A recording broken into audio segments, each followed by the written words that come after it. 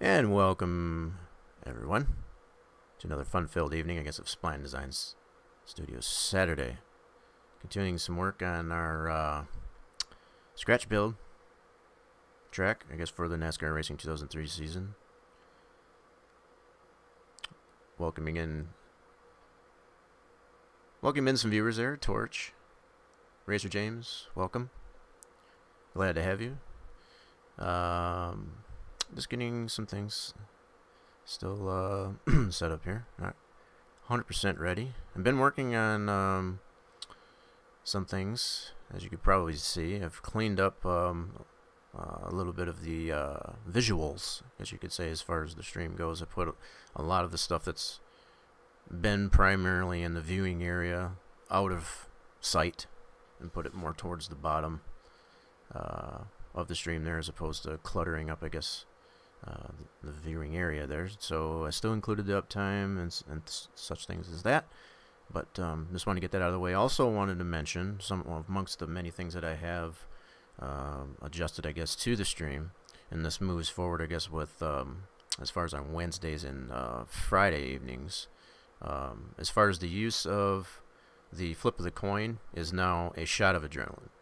So instead of it being um, win or lose, I guess, as far as gaining yourself uh, shots of adrenaline or losing, you, you just gain. Uh, the only other difference that I have applied to it is um, you have to. There's a little bit of a waiting period. Uh, so I just wanted to kind of get that out of the way, and I'll show you how that works really quick here. So if you do exclamation point shot, see like that one was a successful one. Now you will not be able to once you administer yourself in a shot of adrenaline, you won't be able to use another one for a while. So you'll have to wait. So if you attempt to, guess, to do it again, um, it won't work. So that's a, that's a successful, I guess, one at that. So that's basically what has changed, I guess, as far as the uh, uh, flip of the coin. Instead of the flip of the coin, it's now a shot of adrenaline. So um, you have the uh, uh, opportunity, I guess, to gain yourself some. You don't lose any. I guess that's the that's the main take, I guess, for, uh, difference from the flip of the coin to the shot of adrenaline. So, um, yeah, see, Torch, see, Torch was, uh, yeah, he missed. So yeah, he didn't get any. Um, now, see, if you were to go to try to administer another shot, it should give you a uh, cooldown.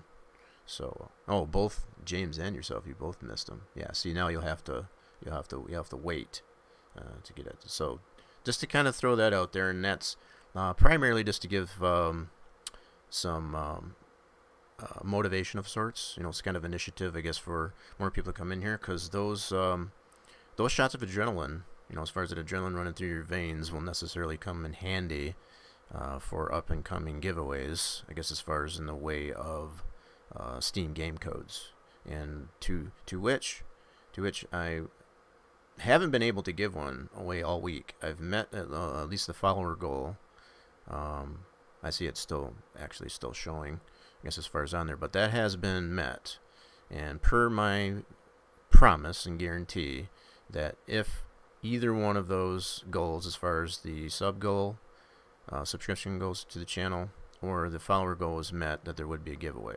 So, uh, depending on how, how many we get uh, in the chat, um, I guess during the duration of the stream this evening, um, possibly have a uh, Steam ga- game key giveaway for this evening. So, um, be sure to stay tuned for that, if anything, and if that uh, necessarily interests you. But um, yeah, seeing you, uh, both Torch and uh, James has checked their uh, shots of adrenaline there. So yeah, if you have some in your arsenal, then that's good, because like I said, you will need those, I guess, to participate in the giveaway, because that will cost you some shots of adrenaline in order to uh, uh, earn your chance, I guess, to get that. Uh, you got you got good veins, and well, I guess it didn't work that time out there, George. Anyway, I wanted to um, at least get that information out there as far as some of the things that I have been working on uh, with the stream, I guess, to make it a little bit more pleasurable to the eyeballs. Um, uh, so, with no further ado, yeah, see that? Yeah, there's the cool down there, James. You have to wait, Now I've got it set. Um, I believe last time I checked it, it was a 15 minute wait. It's a 15 minute wait in between shots. And I've done that for good reason. I don't want people basically spamming that shot and giving themselves, um, you know, numerous amounts of shots and, you know, kind of gaining a disadvantage. And this, that's all I see in the chat, I guess, basically. So you have um, a way to check it, I guess, at least anyway. So. Uh, yeah, as far as the cooldown for the shot. So yeah, you have to wait um, and that's the way I've got that set up. And like I said, I've done that intentionally. Um, uh, the the like I said, the take to that is it doesn't uh, take away any adrenaline from you, any shots of adrenaline. You don't lose any anymore as far as the way the flip of the coin was previously. So, um, and just monitoring, I guess, the condition of the stream here. Team seems to be burping a little bit, but um, I don't think it's going to be too much of a problem. Okay, so like I was saying, without further ado, without wasting too much more time, I want to get into what we're all here for, and that's to continue our work on the scratch build for our, track build in the sandbox for the NASCAR Racing 2003 Racing Simulation. So let me bring this over. Ah, and it just dinged at me, it should have done that. but That's okay. Uh, so we're going to bring up the sandbox here. So I have the track open, and it's pretty much where we left off last week. Um, one of the things I have considered, even though I have done some work off stream, uh, just to try to um, remedy, I guess, or you know, figure out, I guess, what to necessarily go over, moving on from this point. And one of the things that I have uh, taken into consideration, um, especially this area, I know we had focused lastly, I guess, from um, last week on this area here. The fact that if I turn off the uh, world underneath here, the fact that we have this arch here and it really cuts into um, where the grass should be. If I was to try and move this, this would all have to be grass, especially in this area. You know, and it, it kind of bleeds too much into the actual racing surface here. Um, so in order to remedy this, and this is something that we've gone over throughout the, the very beginning of doing this, as far as keeping your um, the size of your split segments, as far as you know, taking a segment like this and splitting it up to try and remedy and you know basically repair, um, getting this type of trajectory, I guess that exists now. When it comes into a situation like this, and I'm still going to hold true, I guess, to what I was saying as far, as far as keeping your split segments to a minimum that that's still something that you necessarily should follow. Um, but when it comes to something like this, to where you're unable to get, like, if I was to make as this stands right now, this is all grass from this point up to this point, and that's bleeding into the actual racing surface here. We don't want that. See, no, and really the only way to really correct that is to basically to split this, so that we can um, suck this in here because by turning this Euclidean, that's way too straight. There's no way. So either way we do this, the way it is at this point, there's no way to, um, you know, we'd either have to create this all as um, asphalt and or concrete, you know, cutting into this what should be grass and so on. So it's like either we have too much grass going into the racing surface, which should be asphalt or concrete, or we have this situation where it's um, too much uh, concrete or asphalt going into the grass. So in order to fix that, um, the only the only way to do it reasonably is to split the segment, and it doesn't really go um, too much out of the um, practicing what I preach, if you will, as far as to say keeping your split segments to a minimum, because you still want to do that. But when it comes into situations like this, you almost have to. Um, but I will stand tall, you know, stand true, I guess, to what I was saying as far as to try and split segments up here. You know, I like to create this little island, for example. There's no reason to do that. Um, these types of areas can be created, I guess, by the use of a track surface decal and or a even a 3DO, for that matter. So these types of areas, even to include this area, you don't necessarily want to, you know, design your segments so that they accommodate these types of areas, because it, just, yeah, it just wouldn't make any sense. Um, as long as you, the probably the key thing to all this, to all this is making sure, I guess, you have uh, the proper surface types defined. Because the fact that in this area in particular, this is turn one, and then we'll go through this area.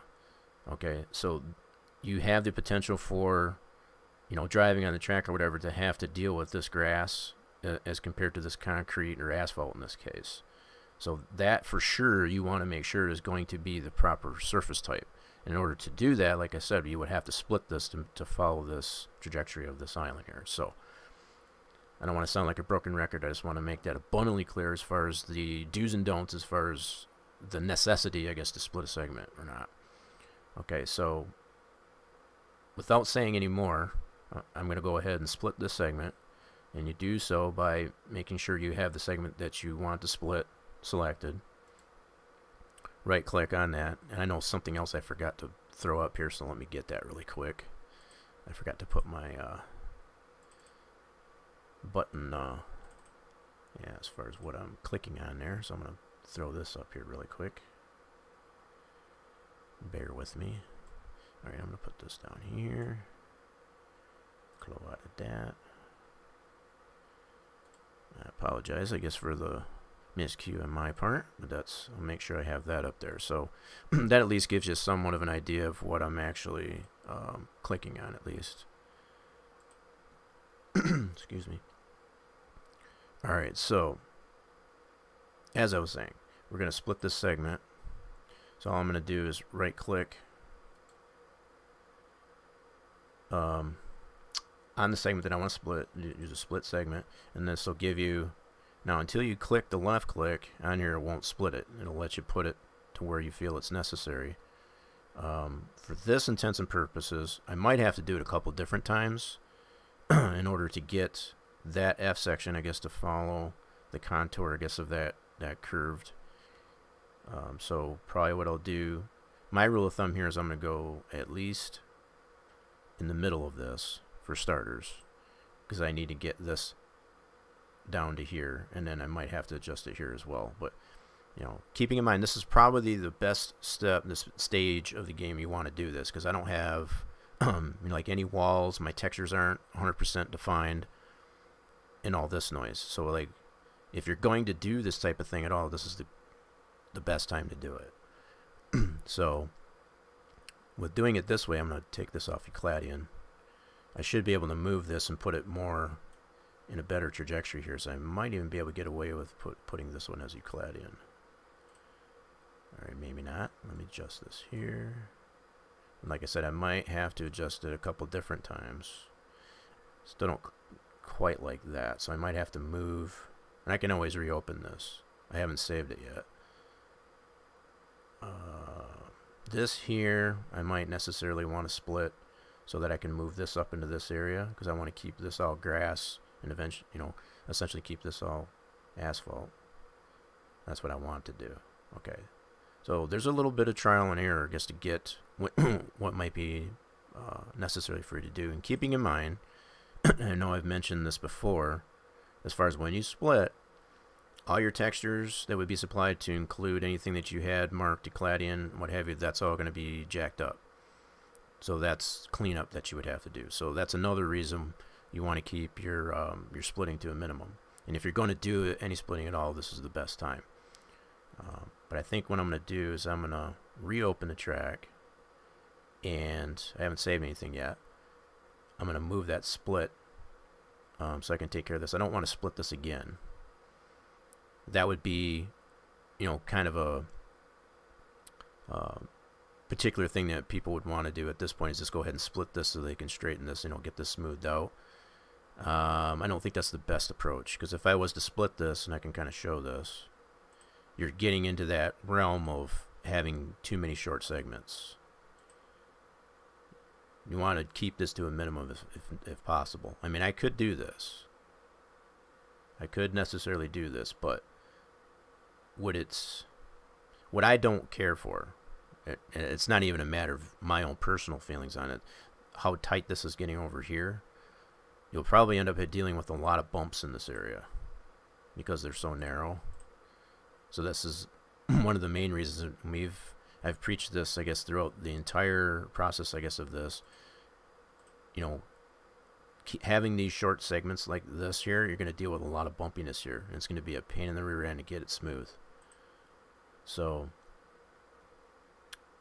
I'm just debating now at this point whether or not I want to keep it this way or is this going to be is this going to be uh, acceptable. Um, looking at it, it may not be too bad. Um, what I still might need to do though is, because the way this is, this is fine right here, but this is all going to be considered grass. And I don't know if I necessarily want that to be that way. I might split it again. I could get away with leaving this grass here and then you have a little bit there. That might work. Be perfectly honest, but uh, here, let me bring on the textures again and I'll have to fix all this. That's I'm not worried about that at this time. I will fix that. Uh, what I will need to do, let's turn on the surface types. Now you can see here this is all grass. And it's kind of hard not to, I wish there was a way to basically turn um, the opacity, I guess, of this down so you can actually see the background image. But if I switch back really quick as far as turning this off, you can see where this grass is actually defined here. There's actually that asphalt um, portion in here. And if you use the center line, I guess as kind of a guide as to where that is. I'll turn this off really quick. You can see where that cuts in there, just a, just a little sliver. That might not be too big of an issue.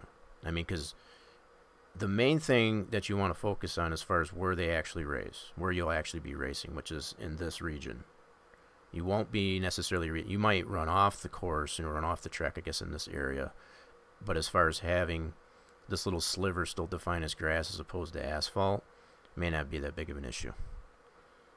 You know, because in considering when they come out, when you come out of the pits here, you would be coming off the pits even if you have the first pit stall, you're going to turn right into this exit. Okay. and then as far as on the track itself, this is your turn one, this is your trajectory, I guess, to go into the infield course is in this area. So this area is kind of a dead zone.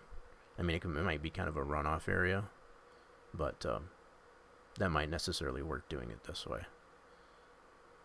So what I'll do, with that being said, is go ahead and turn the textures back on. I'm going to go back to display textures. And then I need to fix all these areas up here again.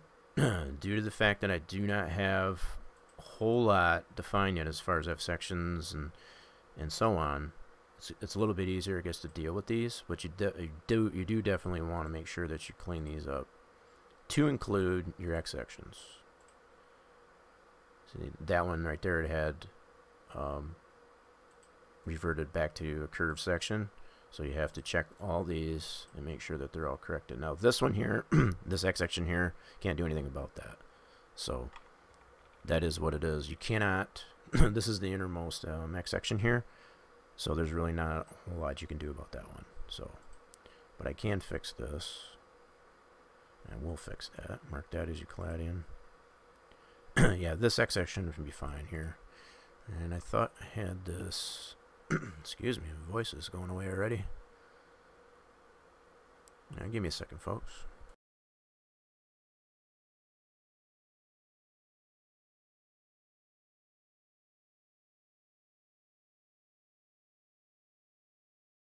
Alright, apologies for that. Just take myself a little bit of a drink. Alright, so, as I was saying, what uh, you, you, do want to do is make sure I gotta unlock all the geometry. That's what I was doing. So does to do that, and I've showed that before, zoom outside of your track spline, your track geometry, uh, right click, unlock all geometry. And you can do that as many times as you like. It doesn't hurt anything. Just to make sure that you're, uh, you can get, you know, select these uh, X sections and whatever appropriately.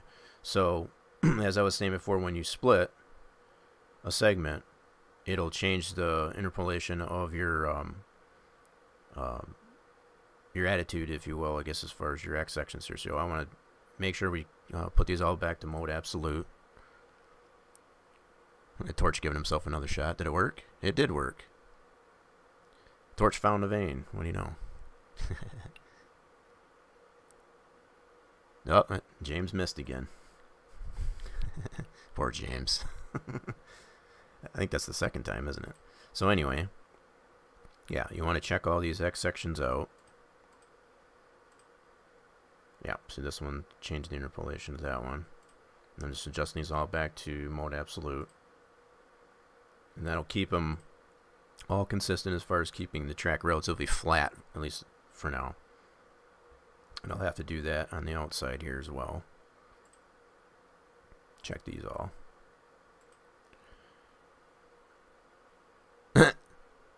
James using his emotes there. Oh, James. Torch, did you take James's adrenaline? You got the good one, didn't you? Well, be stingy now. Okay, so let's. uh... All right, come on. Why is it not selecting? All right, so yeah, using my own advice, and I've shown this before too. Once you get something selected in there, as, as far as uh, next to trying to click on if it's not selecting, uh, bring up your, um, in this case, F section properties, and you can move left or right. It should let you do that. Alright, why is that not let... Come on now. I'm making a liar of me. I'm to do make sure I unlock all geometry. So like I said, you can do that as many times as you need to. Why is that not selecting? Goofy son of a gun anyway. Okay. Is it just being buggy on me or what? The, there we go. So now once I got one selected,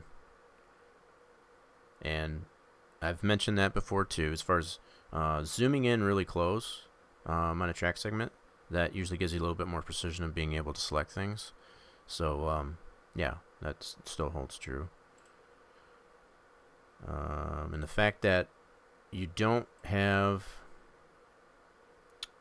um, any way to, when you're on an X section, you don't have this one here. You'd have to go into height view.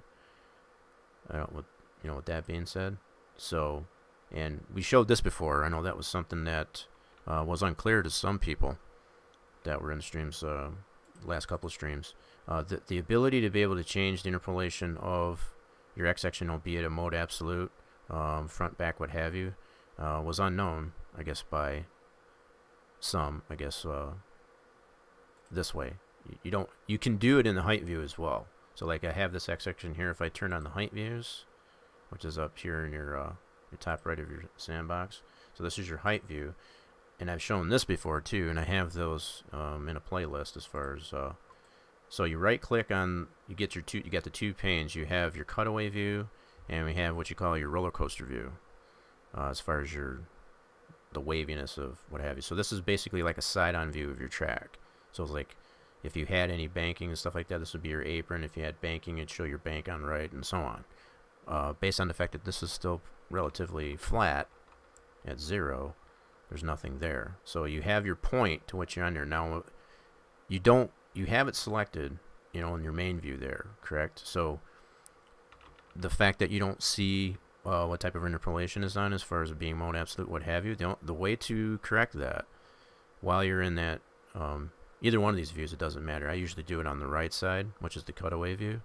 Um, if you use your um, arrow keys on your key keyboard as far as the front and back, I'll just use the up and down, then you'll have that, you'll show what that is. And then from here, you can zoom in on this too. Same same function as this in the main sandbox windows with the Z and or the uh, uh, X. And then you can right click on that and change the interpolation here as well. So that's two two areas, two ways you can change the interpolation, I guess, of your X section. Either in the main sandbox view or in the height view. And you definitely want to be careful with that as far as if you've got um, your banking and, and, and, such set. If you change that, it, it'll adjust in most cases pretty dramatically. So want to be careful with how you use that for sure. So let's see if we can select this next one here and check the interpolation there. Okay, I'm just going to zoom in here really close, make sure I can get that. See, using that zoom key works. Use that to your advantage as well. I'm just checking all these. I don't remember which ones. I'm just checking them all just to make sure. Uh, I'm going to actually check over in here too because this is zoom in on that. I don't think so, but I want to double check. And the way I can tell, as long as I got the white square in this case, then I know I'm okay. That's a white square. White square. And, whoops, did I miss that one? And all I'm doing is using my mouse pointer and just kind of moving that. You get used to, it's kind of like creature of habit, I guess, as far as uh, moving, navigating around, I guess, in uh, primarily like the uh, sandbox view, even in the height view for that matter. And I've got a, quite a bit of um, padding, I guess, on this too, as I've done since the beginning here. Eventually, this this F section will get snapped uh, prior to this X section. But I've kind of kept it because this texture isn't 100% um, finalized yet. You just put that on there, I guess, just to have a texture, I guess, applied to it. Just an initial placeholder, if you will. So, okay. So now I think we got everything this point as far as that introduction, and even looks better aesthetically um, in comparison to this end here. This what this turned out really good here. Um, the fact that we have that little turn off here, like I said, as far as you know, that should be that should work. Um, we should not have a problem there. And then obviously that'll that'll uh, uh, be made evident uh, due to some testing for sure. So yeah, we have this set up as apron. This is pit road. Uh, this is our pit exit, so we have our apron near pits as well as our apron. This is basically where the score tower is, right in this area. So that's kind of like a dead dead area. Um, that's all walled off and what have you. Uh, this is our pit entrance. Apron near pits there to get that spotter cue. Um, of course, our timing line, I guess, for the pits would be in this area. Uh, first pit stall on pit road from the pit entrance would be here, and so on and so forth. So we've got those pretty much defined. And I may uh, get into that too. Um, uh, something that I've considered because uh, eventually we want to get this into the uh, the game itself and actually test and see what we have. And one of the things you'll have to have set is at least the very first pit stall, which is considered stall zero. Um, you have to have at least that one set um, in your track INI um, in order to, to be going to testing mode. Now, as far as um, going into an actual race mode, um, we're not even close. Um, it's because we'd have to get our LPs um, set for the AI and, and, and such of that nature. So, but as far as testing goes, you can run and test your track in testing mode with just you yourself, uh, the, the human player, um, at, at any time uh, during this process. At this point, if I wanted to, um, I could probably build a PTF as well as a track INI with that first pit stall sign and put that um, into the tracks directory and test that if I wanted to. Um, I'm not really going to do that, but that's that's totally within the realm of uh, possibility to be able to do that. So, and if anything, just you, you can tell it would be all flat. Of course, you wouldn't have any. The only boundaries that you would have would be the invisible boundaries, so you would see the texture um, as far as like that. So if you were to go try to go beyond those boundaries, and you haven't set, and we went through this before too, as far as to have your uh, sections open on left and right and so on and so forth, you would just hit those boundaries and they'd be invisible. So, uh, yeah, that's something. If you, like I said, if you haven't defined your areas as uh, open on left and right, as far as being able to cross over that boundary, you yeah, you would just hit an invisible wall. So, and you could you could test those out, you know, in that nature at this stage if you still wanted to, but I'm not gonna do that. So, at least for the demonstration purposes. So I'm just kind of getting an idea now. Um, the other thing that I have been toying with uh, since the last stream is the fact that you've got these um, intermittent, I'll just put it this way, as far as you have these straight segments going into curved segments, which start about here at this point, since we split that. And what you essentially end up dealing with is um, when you apply your texture in a straight, it's, it's usually fine as far as uh, doing a one-to-one, -one, you know, setting your, uh, your, your texture size. If you go into your F sections, is setting it up to 1 and let that go across. Know, as long as the segment is straight, you don't have a problem. It's when you get to sections that are curved, that's where you get into texture skewing.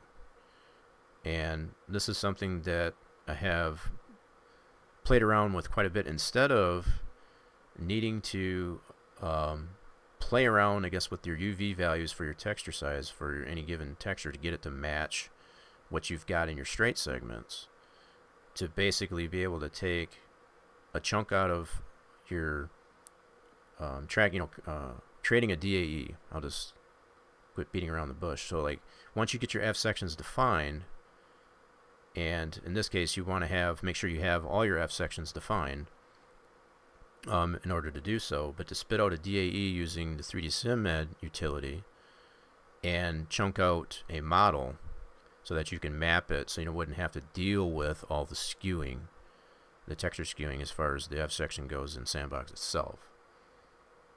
That's what I say Torch skew the screw. You know that's that's something that a lot of even novice uh, track builders with the sandbox utility have struggled with. It's it's a complete pain in the rear end, I guess, as far as to have to deal with, and I can show you exactly what I'm talking about. So, like, the fact that we're in, this is the curved sections here. So you can see how the texture's, like, very misaligned, I guess, for the lack of a better way to put it. The skewing of it is just terrible. You know, and to get that to straighten out and having to play with those texture skews, see, like as over here in comparison, these are nice and straight. You know, so when you look at your texture, as far as in the wind map, and I'll bring this texture up here just to give you exactly what I'm talking about, and I've shown this last week as well. So if I open up this texture, which is the concrete, so this is, you know, you're getting a one-to-one -one, is what I consider. So as far as like when you put it, your texture size as a 1, a texture size of 1, I'll show that again, in in your um, uh, F, F section properties for, you know, within Sandbox, you're putting it as a texture 1, you're getting a, you know, one-to-one -one representation of your texture orientation in your MIP, exactly on that track, that straight track segment. So, this is exactly what you see. Now when you get to curved sections, that's when you deal with skewing. And that's exactly what you deal with on this side.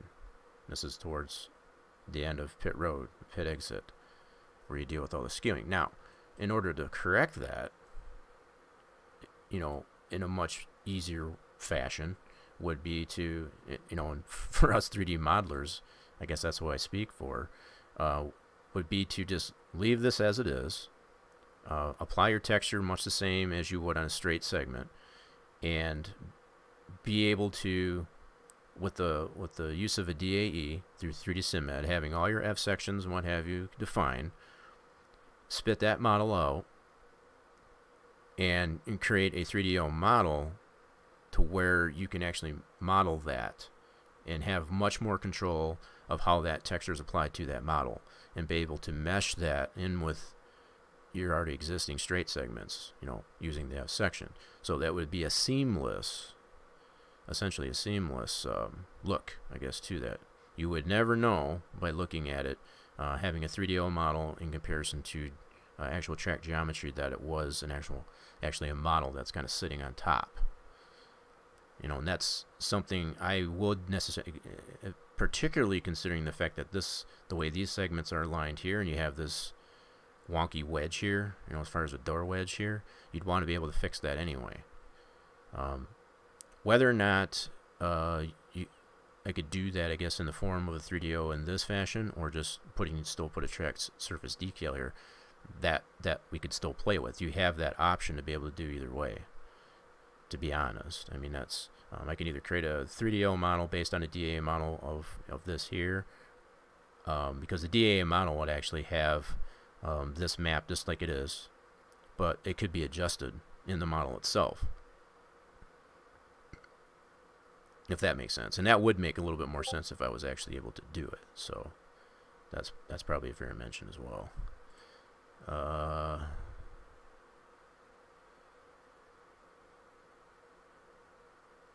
I'm kind of wondering why that hasn't. hold on a second. Just checking some things here. Oh, I see what it did. Okay. Just checking on that. I had to put that back in streamer mode. Okay. Stream's still looking good, so I'm just uh been monitoring. I've been very um uh, for the lack of a better term, I guess, is very uh, nervous, I guess, about the way the streams go. Uh, 3D model would be cleaner. Yes, and, that, and that's that's primarily the point I'm trying to make there, Torch, as far as it would be a lot cleaner. Now, you could even go so far, you know, and I, I've I've already proven this to be honest. On other track builds that I've done, I've actually applied um, like the the painted lines, uh, particularly I guess on a curved um, uh, track, uh, like Martinsville. Use that as an example. Uh, being able to to make a 3DO model of all the painted lines for your pit stalls, as opposed to trying to line up all those track surface decals you know, and dealing with the overlap and so on and so forth to make it a nice, clean um, model, you know, in, in, its own true sense. There, uh, being able to make it as a model, it's, it's much easier that way. Um, and I have proven it's actually been proven, so it's it kind of holds true, I guess, to what what I'm saying here. As far as you could go so far if you wanted to to create this entire pit stall to you know put your paint you could you would have the ability to to, to do your painted lines for each pit um, stall location as far as your your vertical lines going through here. Uh, for example you could do that all in just one 3DO if you if you so chose um, as opposed to uh, just doing this little little chunk here. So it's and I know I've talked with uh, plenty of people I guess about this you know that know a thing or two about this and know you know we've discussed this. Um, if we had the ability to be able to use and, and model an entire track just by a 3D model we'd probably do it. Because um, in our minds it's, it's much it's really much easier to do it that way than it is because most of your modern um, racing simulations they um, most of the tracks are built in that fashion fashion anymore. They don't even use this type of utility um, you're using such things as Blender and Maya and even 3D Max um, to build your track, texture it, and all that stuff, and put it in the game and, and, and actually be able to use it. So the fact that we're having to, for you know the NASCAR Racing to, uh, NASCAR 2003 Racing Simulation, we're having to use this utility, you know, it kind of limits us a little bit. But we do have the option to be able to mix in, I guess, as far as the, the geometric things that the game needs, I guess, to understand what's a wall and what's you know what's a you know what's a pit stall and so on. We that's what the only reason why we have to use it that in this fashion. But and and realistically, if we really had it our way, as far as from track builder standpoint and or um, you know, doing this this process, we would have if we had it our way, we'd just go entirely through a 3D modeling program. You know, so the fact that we have the we can do a hybrid basically. Um, satisfy what the game needs, what the simulation needs as far as uh, being able to find the particular areas, but also to be able to um, um, you know apply the, the three you know the more modern approaches I guess to, to building a track I guess in uh, modern day sims. So and I'm kind of just spitballing right now as far as uh, I guess I'm trying to psych myself out as far as you know because uh, we've talked um, Razor James, you know, being still in the chat there, we've talked quite a bit as far as being able to create like such things as 3D 3D model walls as opposed to geometric walls. Uh, for example, we've already got half of it pretty much done by applying the uh, the, the 3D safer. So it's like, what's what's the difference like, as far as start as far as taking it that much further and, and actually creating that whole entire thing as a 3D model. So. Uh, uh, the 1500 each. Oh, you're talking about um, oh the limit for 3DOs allowed. Uh, it's more of a global polygon limit, but each object is limited. Yeah, yeah, and that's that's about right. So, yeah, when you're considering as far as creating a model, and James and I, we've necessarily we've found this out, you know, pretty much pretty quickly as far as dealing with the lidar data, and I showed that a little bit um, last week's stream, as far as uh, uh, if we had the ability to be able to use that entire point cloud as far as all that lidar information, you know, sky would be the limit. I mean, that'd be just way too. You know, we'd be beside ourselves. I guess this is to say the least. But uh, the fact that it, it, brings a lot of insight to how uh, certain simulations out there, and I won't, I won't uh, take the liberty, I guess, as far as I know. We know what's which racing simulations um, we're talking about here. As far as um, they consider their their their um, scans of their racetracks to be laser scanned. Yeah, that might be true, but when you really get into it, seriously, when you get into as far as considering, yeah, they're being laser scanned, how much of that point cloud are they actually using? That's what it comes down to. There's no way in the unbelievable heck that they're using all that point cloud data from any type of laser scan. It's impossible. Because if you were to do that, if you were to able to use all the point cloud data from a laser scan, for example, you would have to have a supercomputer in order to even load the darn thing. And I don't know about you, and most of you viewers out there, whatever like that, but I don't have a supercomputer. So, let alone the funds, I guess, to be able to afford a, a supercomputer. So, you know, it, it really gives you some insight. And that's why I kind of showed that a little bit um, last week as far as um, how much information is actually in the point cloud as far as the lidar data. It's it's a ton, and it doesn't matter um, how you know limited I guess the scans that you get. You know, a lot of the scans that we get from the USGS um, website that's available for quite a few regions. Um, a lot of the NASCAR tracks are um, they are represented. It doesn't matter which one you get you know, from the Bristol track to the Infineon track or whatever, there's a lot of data there. And you're talking millions of, of point data, point cloud data. And it's just, there's, it's impossible to be able to use it all. You know, and, and to be able to use that in any type of racing simulation, it's just, it's just completely impossible. So, um, yeah, and that's exactly the point I was trying to make there, uh, James. So it's like, what it comes down to, what ourselves as um, modders, you know, being in the 3D realm or even in the uh, geometric um, realm of things, you know, as far as having to deal with this uh, sandbox utility, how can we, um, for lack of a better way to put it, how can we dummy it down enough to whatever you still got plenty of, you know, a detail there but it's not it doesn't look like crap you know it doesn't look terrible you know the aesthetic is still there and that's that's that's where we're at, and and the same thing goes true. That's from everything to texture skewing, you know, how your textures are applied to whatever it is you're creating in comparison to if it's a 3D 3D model or if it's just track geometry splines. So it all kind of coincides with each other. It's just being able to marry those two together in some kind of a harmony, if you will. That's the way I think of it. You know, we've we've done this more ways than one, I guess, so far. Um, you know, like I said, with the 3D Safer, that's partially um, uh, ge- geom- geometric splines as well as 3D modeling. You know, be it the foam itself is just the 3D, the 3D model, and everything else is geometric. You know, but again, like I said, as far as what it would be the so bad, I guess, as far as creating that entire, you know, be it the outside wall, the foam, and the steel as a 3D model, and still include, I guess, that W section in this case, I guess, as the geometric spline that the game needs to understand that that is a wall, so that you don't go, you know, driving through it.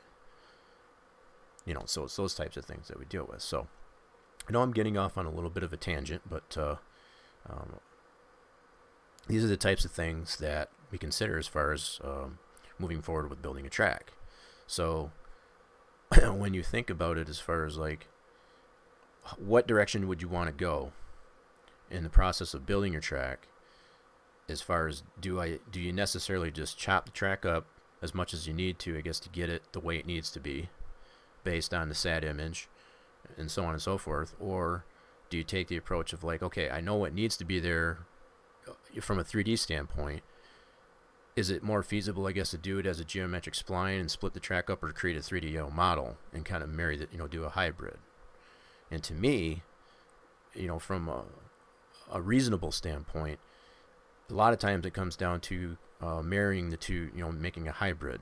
As far as, okay, the game needs that in order to understand that it is what it needs to be, but at the same time, I can still create a 3D model, I guess, to, to, to help it, you know, to show the aesthetic, I guess, of um, a wall or what have you.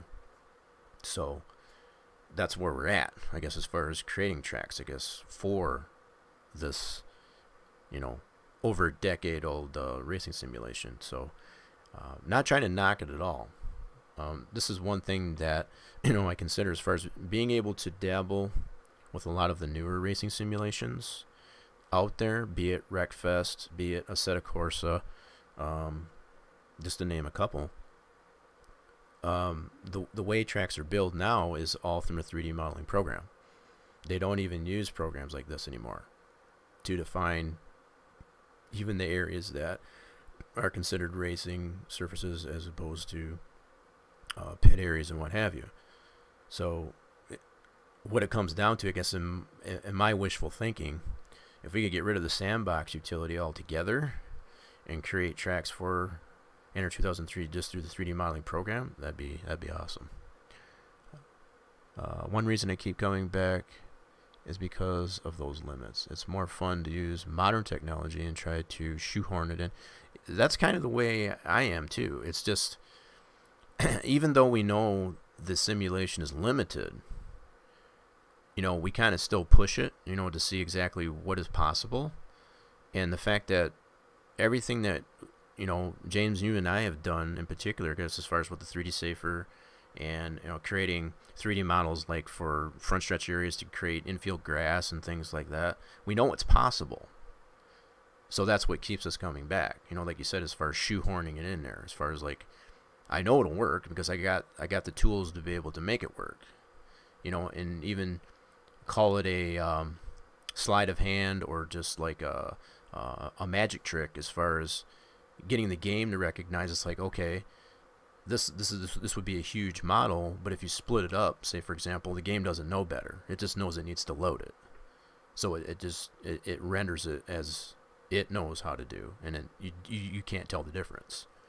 And that's what we've been able to do. It's kind of uh, for lack of a better way as far as sleight of hand or uh, call it trickery if you will. So this this old simulation uh, you know has some tricks up its sleeve and we're able to kind of you know those like ourselves we can bring that out um, but it's it's getting other people and this is kind of the the main reason I guess we do these types of streams is to get uh, those out there that are interested in these types of things to understand what is available to you. Okay, the fact that it's not too hard anymore. In fact, I was just talking to um, um, a youngster. I guess it's uh, fresh out of college. Um, you know, being in his twenty somethings, and the ability, you know, the fact that he took a class, I guess, with 3D CAD, he has the ability, I guess, to get um, a 3D program. You know, I think uh, he was mentioning more of a more sophisticated uh, version other than Max, but the fact that these types of things are available, you can get them uh, for next to nothing anymore. So it's it's it, it's really no excuse um, as far as uh, getting those types of things available to you and using it to your ability. Um, of course, it always takes you know, a little bit of patience and some willingness and some ambition, uh, for sure. But it's like uh, the fact that there's not really enough people, I guess, that are doing that. They're otherwise taking works that are already out there and just kind of reinventing the wheel. That's not being very genuine. You know, you're not being. That's there's no originality in that, and that's another reason why I guess I, I tend to do these types of streams. You know, to kind of show you can be original. You know, don't don't don't try to take something that's already been invented and try and reinvent it. Okay, because as new technologies come out and technology comes out at such a fast pace at you know this stage of the game that there's no reason I guess you know a couple years or a year down the road it's just like well this one's already fine I just need to fix this aspect to it. It's like no, that's that's not what you should you should get out of that that uh, mindset really. So. Uh, that's just something kind of a little bit uh, getting out of my soapbox there, I guess a little bit as far as to um, help bring a little bit more understanding as far as what's going on with uh, uh doing these types of things. So rather it be uh, creating something, I guess, for um, the NASCAR Racing uh, 2003 season simulation or uh, Wreckfest, uh, Assetto Corsa, it doesn't matter. Um, the tools are available, probably even more available than they ever have been. And um, uh, to be able to uh, get your fingers dirty, get your hands dirty, get in there and actually uh, do the work. I mean, it's uh, uh, sketching on my check here. Now imagine four groups coming along after this track is done and editing and splitting and making. Yeah, it is going to be a yes. And seeing that's what I've seen this happen more times than I care to count. You know, taking something that's already in existence is just like, well, let me just chop this one up. You know, it's like they made this change or what have you. You know, I've seen it with like the Phoenix build, uh, this build in particular. I've heard plenty of other people out in the community uh, mention that they're going to take um, an already existing Charlotte track and chop that up to make the road course. And it's just, it just makes me want to pull my hair out. It's just, it's like, why do you do that? That's that that goes from what I was saying as far as reinventing the wheel. Don't do that. That's that's terrible. Um, it, it, and it is. It essentially does. It turns out to be a mess. I mean, it's not. It's. This is why I'm doing these types of streams. I want, if anything, to bring out a little bit of awareness as far as when you have such a major change into a track, just because there's something out there that's in the likeness of what needs to happen, doesn't mean that's the best approach. I mean, that's all fine and dandy in some people's little world as far as like, yeah, that's good enough for me, but um, it shouldn't be. You're, thinking too narrow-mindedly, in my mind. It's just, and those types of people, I, I, I can't, I can't really, you know, even support that, that way of thinking. So, um, yeah, and I, I've, I've heard of it too, and I'm not going to mention. We know who's, we know what groups they are, and um, you know who's doing it or whatever. And they're going to continue to do that. Um, my my hope and my wish is that um, some of this some of the information that we can provide here will be useful to them. That's that's the only hope that I have for that. So that's my motivation, I guess, to keep doing what I'm doing because this this in my mind is the best approach to doing it is in comparison to the way they're doing it. And that's to me, that's really all that matters. Um, you know, and I've I've spoken with uh, those like Torch and Racer yourself as far as uh, you know, as far as the the advent, I guess, of uh, that ever going to change. So uh, it doesn't take away from me still wanting to provide information as far as uh, the ways that things should be done. Let's put it that way. This is a this is a new uh, technological age as far as the way you know, I've like I've already explained as far as how tracks and and things are built. You know, uh, with the advent of such things like the Unity um, engine, as far as being able to create um, different types of uh, virtual simulations. You know, you you, ha- you have things like that available to you. Use it. Use it. There's no excuse. Absolutely no excuse.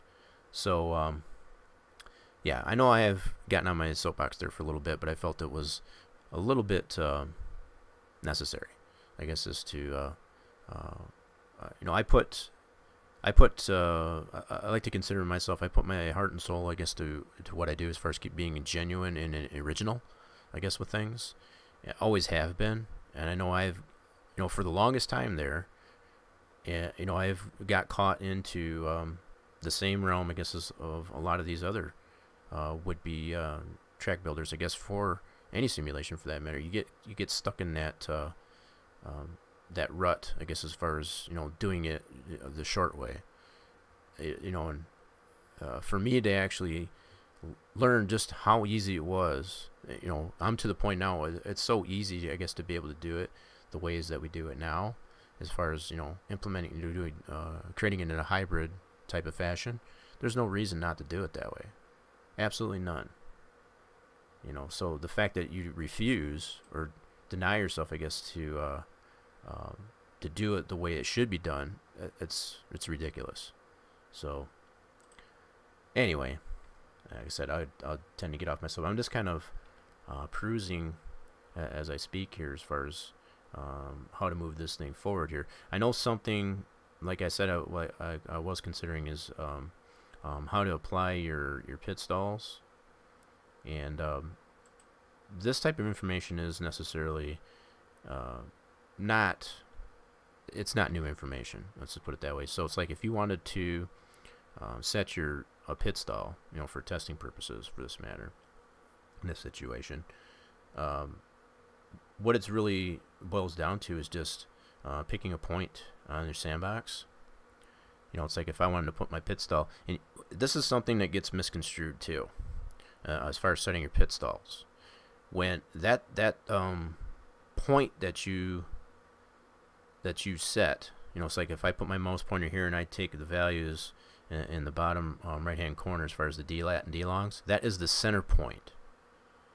Not the head of the pit stall or the end, you know, the the start, the beginning of the pit stall. It's the center. Okay, and this is something I've argued with, um, you know, some some other track builders out there. They would argue the point as far as like, well, just set it three three meters ahead. No, you don't need to do that. When you pick your point, and I have a jig that's available, um, actually, and I will share that, um, you know, freely. I guess with anybody that cares to want that. Um, but when when you pick your point, it doesn't matter if you're using a jig or if you're just using your mouse pointer. I guess to, to pick that point where you're at, that is considered the center point of the pit stall. Not the beginning, not the end, the center. I want to make that abundantly clear.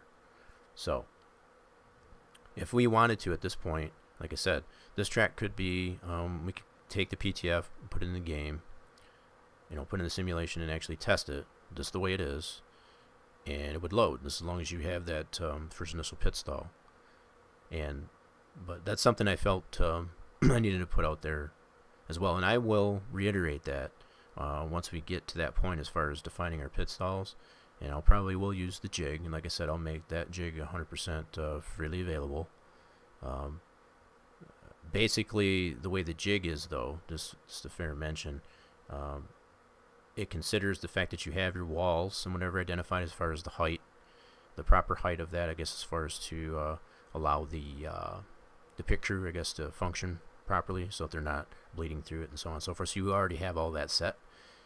so it has that um, in the jig um, that I talk about, that I speak of. Um, it has the the wall actually considered, and that's how you set that up there. And it it, ha it has a square where the car would land and as far as you know picking that center point up so that you can actually lay those down a little a lot more accurately shot time there you go oh did it not work for you again James You just can't seem to find that vein, can you? I feel I feel bad now. Yeah, I really feel bad. You haven't had any luck here. Now Torch, that's the second one, huh? Oh, Torch actually missed that time. Catching up. I'm glad that thing is working. I was, um, you know, I was kind of playing around with that idea. Um, I was not wanting uh, my whole um, idea, I guess, behind doing it that way, as opposed to the way I had it with the flip of the coin. I didn't want to take, um, I didn't want to take any uh, points away or any adrenaline away, I guess, from users. Um, I wanted you to uh, at least be able to gain some, if if nothing, then you just you know right where right where you were, I guess, as far as uh, doing it. So I thought that was a little bit more appropriate, I guess, as as opposed to the flip of the coin. Um, also, there was some um, some other considerations as far as you know. Uh, I've, I've I've had some viewers come in here and uh, kind of abuse that as far as like they considered that I guess a form of gambling. So um, if you're necessarily recovering, I guess, from a you know a gambling problem, I didn't want to create a bigger problem, I guess, in that fashion. So I felt this was a little bit more. Uh, that's kind of my my reason, you know, my thinking, I guess, as far as doing it that way. So um, I hope that works out a little bit better.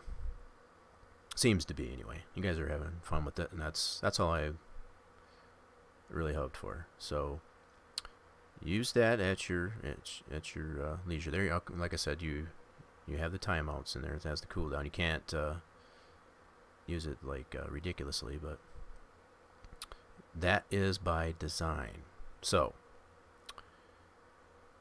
yeah, yeah. So what I am considering, like I said, you know, with all I know I kind of sputtered out, I guess, quite a bit of information here, but uh, what I will necessarily consider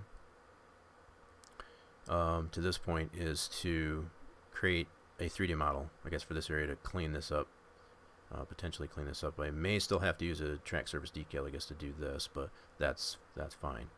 I don't. That's that. Doing that type of thing is there's no way around that, to be honest. Without doing a complete um, model, I guess, of this area, you know, and, and getting that to blend in using that hybrid, you know, hybrid theory, I guess, as far as to get that to blend. It could be done. You could do it that way, but I'm not going to go that far. I think that's a little overkill, I guess, as far as that goes. I mean, you could be, you know, at your leisure, you know, if that's something you really want to do, then go for it. And like I said, there's really no limit. You know, there are restrictions, yes, um, as far as uh, what you should do, like how many polys are in the model and so on and so forth, how much you got to break it down, all that jazz. But it's it's not impossible. It's not impossible. Um, so, yeah, I've got that all done there. I'm just trying to think. Yeah, I've already gone over, I guess, as far as the, the skewing of things. Um, and see, you know, moving forward with that, you know, as I was, I'll kind of elaborate a little bit more on creating a DAE, you know, using the 3D Sim Ed utility. Um, you would necessarily have to have your F sections defined. Okay, so that carries, that mapping at least carries over um, into the DAE, so that when you model it, all that information as far as where, you know, where your painted lines and, and such would be, you want that in there.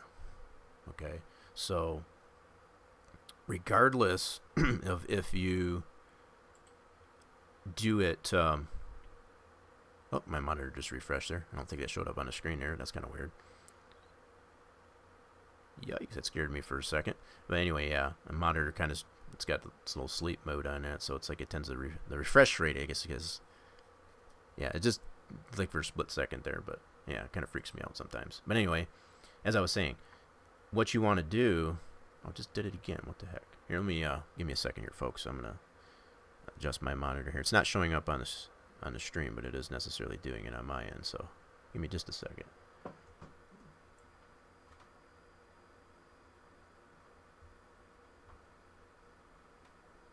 Okay. Let that come back on there. Yeah. So I've I've had it on for quite. I've had it on all day, and it's like I've been um, in and out of out of the racing simulation and in the sandbox and so on and so forth. I think it's just like, hey, you know, give me a break here, buddy. So that's fine. I mean, that's that's where we're at, I guess, with technology anymore, and it's yeah, I think it should be okay now. Um, but yeah, as I was saying, what you want to have applied uh, prior to doing your DAEs, you want to have um, all your F sections defined, regardless of if you put placeholders, I guess, for even like um, the outlines of your pit stalls, for example.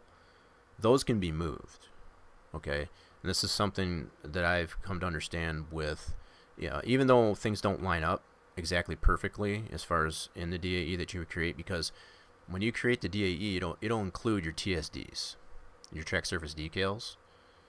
Um, so even if you were to apply your pit stall lines to include your F sections, even your W sections for that matter, um, having those all in there, even if they don't line up exactly where you can adjust that in your in the DAE. You know, as far as isolating those areas, you can adjust those and tweak on it in uh, your 3D modeling program. And then uh, essentially, once you get that all tweaked out, and get it mapped uh, properly with your textures, um, then you can spit that out as a as a 3DO, either in in totality or just as a piece. So, yeah, that's that's you know using that ability, you know, the, the fact that you have that um, um, ability, I guess, to be able to take a DA model of your track geometry splines based on a 3D SimEd uh, DAE model and put that into 3D SimEd, yeah. You know, it's like I said, there, there's no reason not to do it. You know, it's just it just becomes a matter of, like James had pointed out, how much is you, you're actually applying to one particular 3DO model. So like, if you if you're staying within the constraints of no more than about 1500 polys and or verts, I guess within a 3DO, then you should be fine. And regardless if you have to do however many models um, that were th- within that, you know, close to that constraint, it doesn't matter. As far as the, the simulation is concerned, it doesn't matter. It doesn't matter. We've already proven this, and it, and it, and it's, and it works almost flawlessly. Um, where it does come into a little bit of consideration, which should be more. you know James, you know, we have the tendency, whatever, when we create scratch models, uh, when we texture things, we tend to make the, the the initial texture that we apply to the models as big as we can actually get them. You know, as far as the so if we end up making it like a 4096 by 4096, we're going to do that. Okay. Do you necessarily apply that 4096? Do you keep that that texture as a 4096? Is that necessary? In most cases, that's what you should consider as well. So once you get the model broke down into the appropriate pieces to stay within those constraints of the 1500 polys, verts, what have you, um, you should always keep in consideration too as far as like, do I necessarily downsize the texture as well? You know, I've come across tracks, not in the so um, distant past here, that um, they don't necessarily consider that. And the way the track, you know, as far as loading the track into the more modern, uh, um, you know, the more modern mods that are out there for the simulation, it just doesn't work. You know, unless you've got a pretty hefty um, system. So that's something else that I take in consideration. You still should always consider as far as thinking. Everybody wants, you know, everybody who's anybody's got a, you know, they feel they got a pretty beefy system. They want to use high res, high res skies, high res this and that. Okay, but there, it does become necessarily to understand that not everybody's got one of those types of machines. Okay, even for myself, as far as the system that I have, I'm I'm still a dinosaur. Okay, even if I was to upgrade to what is considered more common, you know, more uh, a common video card or processor, what have you, it, you shouldn't necessarily always consider to use everything HD. You know, I want big models, I want high res textures, blah, blah. You shouldn't do that. Okay, you should always consider about the little guy. You know, if you're especially if you're wanting to share things, you know, with the public, you should always consider that at least. And I see that happening more and more so now. It's just like everything's got to be high res. You know, everybody's got 4K, whatever. Well, no, not everybody's got 4K. You know, so you're kind of leaving the little guy behind. It's just like, well, you know, why should we consider the little guy? It's just like, you know, everybody's should have this. Well, yeah, everybody wants to be able to have that, but not everybody can. So, you know, why leave those little guys out? So, um, exactly. See, and that's a good point there too, James. I mean, I have, um, I'd love to be able to have a system to to have exactly what you're talking about. It's just like have all that that fine, you know, that finite uh, information as far as how things move and react. I guess in the in the environment and so on. Like, yeah, I'd love to have that. You know, and some people do have that, but it's just like those types of people that have that in their in their you know in their arsenal, if you will. They don't consider the little guys.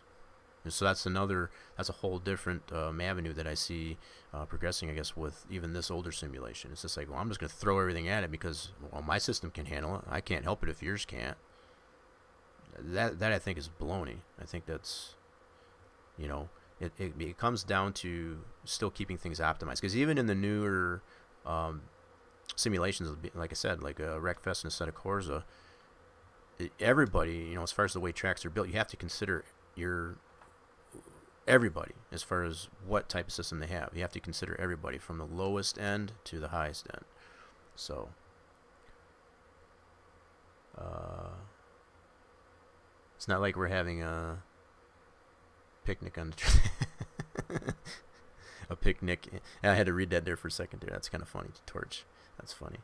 Okay, so um, yeah, moving forward, I know I'm I'm going way off on tangent here, but I think that's it's a lot of good information, I guess, as far as moving forward. Because this, it's a lot of things to consider, and this all is encompassed, I guess, with um, the advent of being able to use the lidar data that I showed last week, um, and I might get into um, playing around with that again a little bit. To be honest, I think I've got as much as I can really do. I mean, I could really get into I, I don't really want to at this point until I get the LiDAR figured out um, as far as where um, you know dealing with the wall sections and stuff like that. I mean I could necessarily go into I'm just trying to think um, if I did want to go so far as to putting some W sections in. I don't necessarily need to texture them. Uh, like this W sections here that I got for the pit road they're not textured um, I don't have, you know, as far as any height values or anything to it. I just wanted to put them in there just to see um, how that would lay out, how that how that would uh, uh, present itself, you know, with the way we've got this here. Because what still does need to be tested, and this is something else I've taken consideration as to whether or not the center line going in this trajectory is gonna is it gonna be feasible. Um, so that's something that does necessarily need to be tested, and that's why I, I kind of consider uh, without, you know, and I'm considering not even going with LiDAR. If we didn't have the LiDAR um, that we do at this point, what you would necessarily do is start, you know, at this stage of the game, you would start laying out um, um, your W sections for your uh, your outside retaining wall and so on. Uh, so I am kind of considering that, uh, but I think what I will do at this point at least is save this the way it is as a new PTF. Um, so I have all this um, new split information here, so that this is all cleaned up now from since from before. Um, I'm going to definitely save that because something something else that I considered too when I was going through this earlier. When I did these segments here, um, I'm still considering this this wall right here, and if, you can probably already see it. You probably know exactly what I'm considering here so far. So the fact that this segment here, if I was to put W sections in here, it would be fine. Okay. I could put W sections in here and all that would be covered, but it's missing this little piece right here. So I would almost have to split that one there, and that's that gets in that that steps back into that whole realm of is it necessary to do that? Okay? Is it really that important to miss this little sliver of potential wall segment, regardless of whether or not I put this in as a W section and actually texture it, I guess as you would traditionally and conventionally, or just uh, apply a 3DO model of this here. Okay. What I would consider, and this is this goes into that discussion that I mentioned, I could keep this exactly the way it is, apply my W section in here to, to cover the majority of this wall, and then at, at this point here, as far as for this end cap, is just create a 3DO model, as opposed to splitting this. Because in my mind, that's not necessary. Am I wrong? I, you know, I'm, I'm opening this up for discussion because this is what I've seen a lot of track builds, you know, the direction a lot of track track builds go, is to say, yep, I need that wall segment, I guess, to go all the way to the end here, so I'm going to split that. Okay, it becomes, you know, a matter of, is that necessary? I say no, but, you know, some would beg to differ, and, you know, I'm open for suggestions, I guess, on that, as to whether or not that should be done. But that was something that I came across um, you know, looking at how this has um, gone so far. And I'm kind of happy with the way this is. And, you know, uh, being able to create a 3DO model for this end cap of the wall here, albeit the fact that this is just temporary, they don't leave this up here, I guess, during the um, anything other than the roll event. Um, I would say, you know, to not split this. That's my own personal opinion on it. And that's, you know, holding true to my, you know, practicing what I preach as far as keeping your uh, track splits to a minimal. You know, the fact that we've got um, things like this um, applied as far as to, to create the wall openings in the pit wall and such like that, that's about as far as you should really go, in my mind, as far as, you know, that type of thing goes. Because then you're stepping into that whole realm of, you know, splitting a track up so much to the point where it's it's just unnecessary. So, all right, so yeah, I'll leave that open for discussion. You know, I mean, this this is kind of what uh, it's an open forum.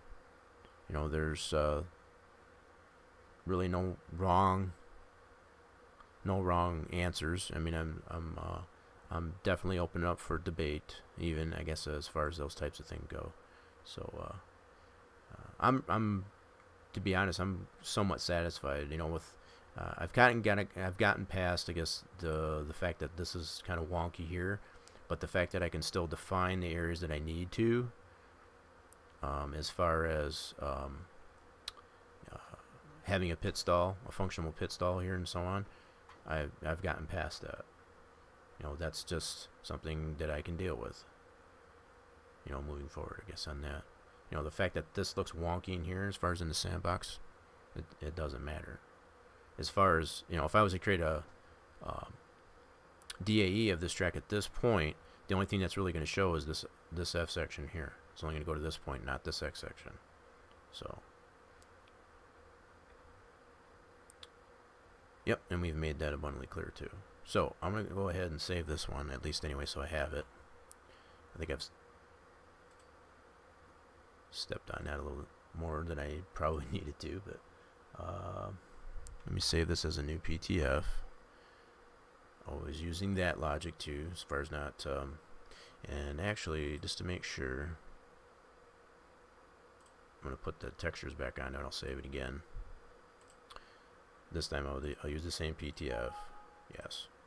Only because that, I just want to make sure that the texture will actually be applied when I go to open that down the road. Um, I have come across that in, in, certain situations where, um, and I think it's more related to the, um, excuse me, to the, um, the, the SBX file that gets created for any particular session. Um, but that includes information based on um, any or what all background image you had as opposed to, you know, did you have the uh, ground underneath turned on and what have you. So I always want to make sure I give, yeah, so that's the only reason why I saved it like that. Okay, so where I'm at at this point looks like your pancreas. Yeah, it kind of looks like, it kind of reminds me of a kidney. In my, yeah, in my mind, it kind of looks like a kidney. Yeah, some type of organ anyway, yeah. Um, all right, so I'm really debating, at, you know, like I said at this point, is whether or not I should go ahead and follow the same logic. Like I said, excluding the fact that we have lidar information, you know, as far as the point cloud, uh, to go ahead and at least um, put the outer uh, W section in there uh, to define that region, and um, at least have that defined so that uh, I think I might go ahead and do that, and I could save it as a separate PTF, and I can always revert if necessary. So. Um, yeah, I think I'll go ahead and do that. I'm going to follow much the same process that you would, barring that you did not have LiDAR. But I think even with having LiDAR, it, it's it still would be useful. So I'm going to go ahead and turn the world off again so I can see where the walls are. And I already pointed this out before too. I don't know if this was uh, just a point of stitching error on my part as far as the sat image. But I've come to the determination, and I've done a lot of, um, you know, looking at the original sat image as far as prior to creating it as a high res, if you will. Um, as far as this little wonkiness that's in here, that's that's really only, and I think that has a lot to do with um, um, the texture distortion. Everything else lines up because I did a lot of different measurements as far as um, how far the center point of this um, score tower was to the wall and so on and so forth. And what I've come to determine is this part right here is where I want to go. This is the trajectory. So if I basically just draw a line into this wall going into this section here, it's only this little bit of section here that I need to extend this out into this so it blends into that. So it's really not that much of an issue even though that it clearly does show, I guess, in the image there. So that's something you you would necessarily consider because everything else that I used as a point of reference as far as lining things up, like um, one of the points that I used was the corner of this garage. You know, as far as this corner of the background image, so this corner of the garage as well as the score tower, and this corner, I used this corner of the garage and this corner of this building, for example. So being able to line those up, everything else is perfectly fine. So that's why I had to go back and actually review as far as where this, you know, which one was correct. Was it uh, following this trajectory, you know, as far as this wall coming out here, or this wall coming out here? And when I came to the determination was, was this wall needed to blend into this wall as far as this way. So this is not needed here. So I would have to measure more from extending this wall out behind it, you know, say to like the score tower, making that measurement. So that's something you wouldn't necessarily have to deal with because as you move, and this is probably a fair point, when you, um, even the fact that you're just moving, you know, strafing to the left or right in um, Google Earth when you're uh, trying to uh, uh, crop out your images, I guess, is from you know, for your sat your stitched um, high res sat image from Google Earth. You're still going to deal with distortion as you move that within the the Google Earth world. Um, you're going to get some shifting of the texture, and that's basically what you know what you witness here.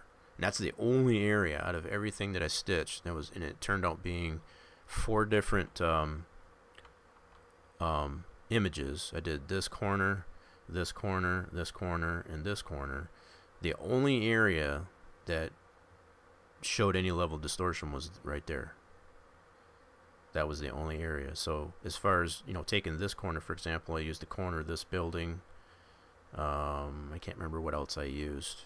I know this corner of this building for sure to get this quadrant of the image applied. And uh, we have now we obviously have the um, James does in particular because as far as has that uh, video available as far as how to do that appropriately. My monitor just turned off on me again. Gummit. Stop doing that. Okay. I know it doesn't show across the stream, but it does do it for me here. I thought maybe it. Uh, I don't really have that much going on either. That's what's crazy. Usually, if I've got um, 3D Max and stuff like that, there does necessarily do that a little bit more, but okay. So, yeah, moving forward, what I'm going to do without any more said, I'm going to apply these outer W sections. This would be the next step as far as going forward. Uh, well, that's good. I mean, that's good that it's useful. I mean, that is I, I find myself referring back to it as well. I mean, it's it's a useful um yeah, it's a very useful video. You know, because I always forget certain things. Like, okay, how do you do that again? Yeah. Try to make as much um, available, and I think um, I do have, as a matter of fact, if um, those that are watching stream aren't aware, there are um, a couple of commands that you can put in there as far as some playlists um, for how to use uh, either 3 3ds Max or um, even um, Sandbox um, little shorts in there. So there's the how one and the how two that I've put in there, and you can feel free, I guess, to check those out at your leisure. Um, I I'm making a point, I guess. Um, I've put a couple of them up there. I have a couple more to get up there that I haven't yet. Um, as far as the uses of Sandbox in particular. So, um, yeah. You can, like I said, you can bookmark those or however you'd like to handle those. Uh, but those are available to you, I guess, for your purposes. Alright, so we're, gonna, we're not going to go ahead and we're not going to texture these as of yet. I just want to get these walls laid out, these W sections. and basically see um, where we're at as far as the uh, integrity of our geometry. Be it the uh, gosh darn it. Why do you keep doing that? That's weird there we go. Okay. Kept clicking off of that. It's a little bugger. Okay so same same concept as with the um, the F sections. And if you can't get them to snap together, just zoom in on it until they attach. And basically all you're doing, and like I said, this trajectory here, I might have to create this as Euclidean. I need to go more behind this wall. So I don't want it to be on here, so it's going to kind of extend here a little bit, which is fine. That'll work out just fine. I've already uh, made that determination as far as before prior to coming on the stream as far as what is correct okay so now we're coming into yep see this might become an issue um yeah okay see this is something I did take into consideration as well. So because we're at the end of the section here, we cannot take the wall segment here and take it across here, right? Okay, now here's the thing. If this is, okay, this image is not based on what they actually used for, um, you know, the race layout, I know as far as for the roval itself. Because this wall wasn't here, obviously, so they could go in here. They had a bunch of um, uh, temporary walls, I guess, in this area. So this may not be a terrible thing here, but would would what would have to happen is this area here would have to be uh, this would have to be 3D modeled to get this here. You wouldn't be able to do a geometric spline here. And that's something I've already taken into consideration as far as the you know the trajectory of this thing, as far as how this goes. Now, whether or not I should keep this as Euclidean probably keep it as curved actually. And that's going to require some testing for sure um, as to whether or not I may keep this this one here. I really don't want to split that again, that's for sure, because this is getting way too tight in here.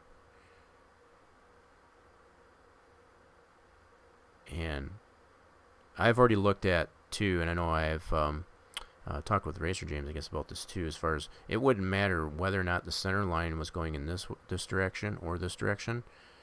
Um, if we were to make this any tighter as far as these segments in here any smaller, the fact that, you know, this is already as small as you really want it to be. Even though it's way out here as far as where you're actually going to be interacting, um, as far as with the pits, pit stalls and all that jazz, you really don't want to put these any smaller than that. So, um, nope. Nope, and that's exactly what I was speaking of here. You don't want to split this. Because this is already, you know, based on the radius of this right here, and this is what um, talked about, this has already been tested. If if you split this any more than it is, you're creating this this section out here way too small. You're going to create a huge problem for anybody, especially if you were to make this infield accessible, um, which I consider doing. It's not going to bode well as far as to make this, because you're already way smaller than you you need to be here here. So as far as to be able to move this at all, it's not a good idea. So and like I said, that's going to present itself regardless. Because uh, I have taken a look. I still have the PTF, I guess, for the center line that goes through, you know, this direction as, as opposed to going down pit road. You're going to run into the same issue. And it's an even bigger issue if you run the center line this way um, and splitting that any more than it, than it should be. You know, if I was to split this one again, you're gonna this this area here is gonna end up bleeding up into um, where your pit stalls would be. That's a fact. I mean, that's just uh, so. What it becomes an issue of is do you keep this W section here and just model whatever 3D walls that they have here and just let the game dictate as far as like if you were to overshoot this corner just run into this boundary and just keep that there. That would just be its natural wall because this is where the segment ends. Okay, so this is something I've already taken into consideration. So as far as like, if you're considering as far as like the racing surface itself, as far as how you would race this course, if you were to overshoot this, and even if you had a 3D model in here, all it's going to do is just bury the car into that 3D model, and it's still going to stop the car right here. Because I'm not going to open this on, um, in this case it would be on the right. I'd keep that as its natural barrier.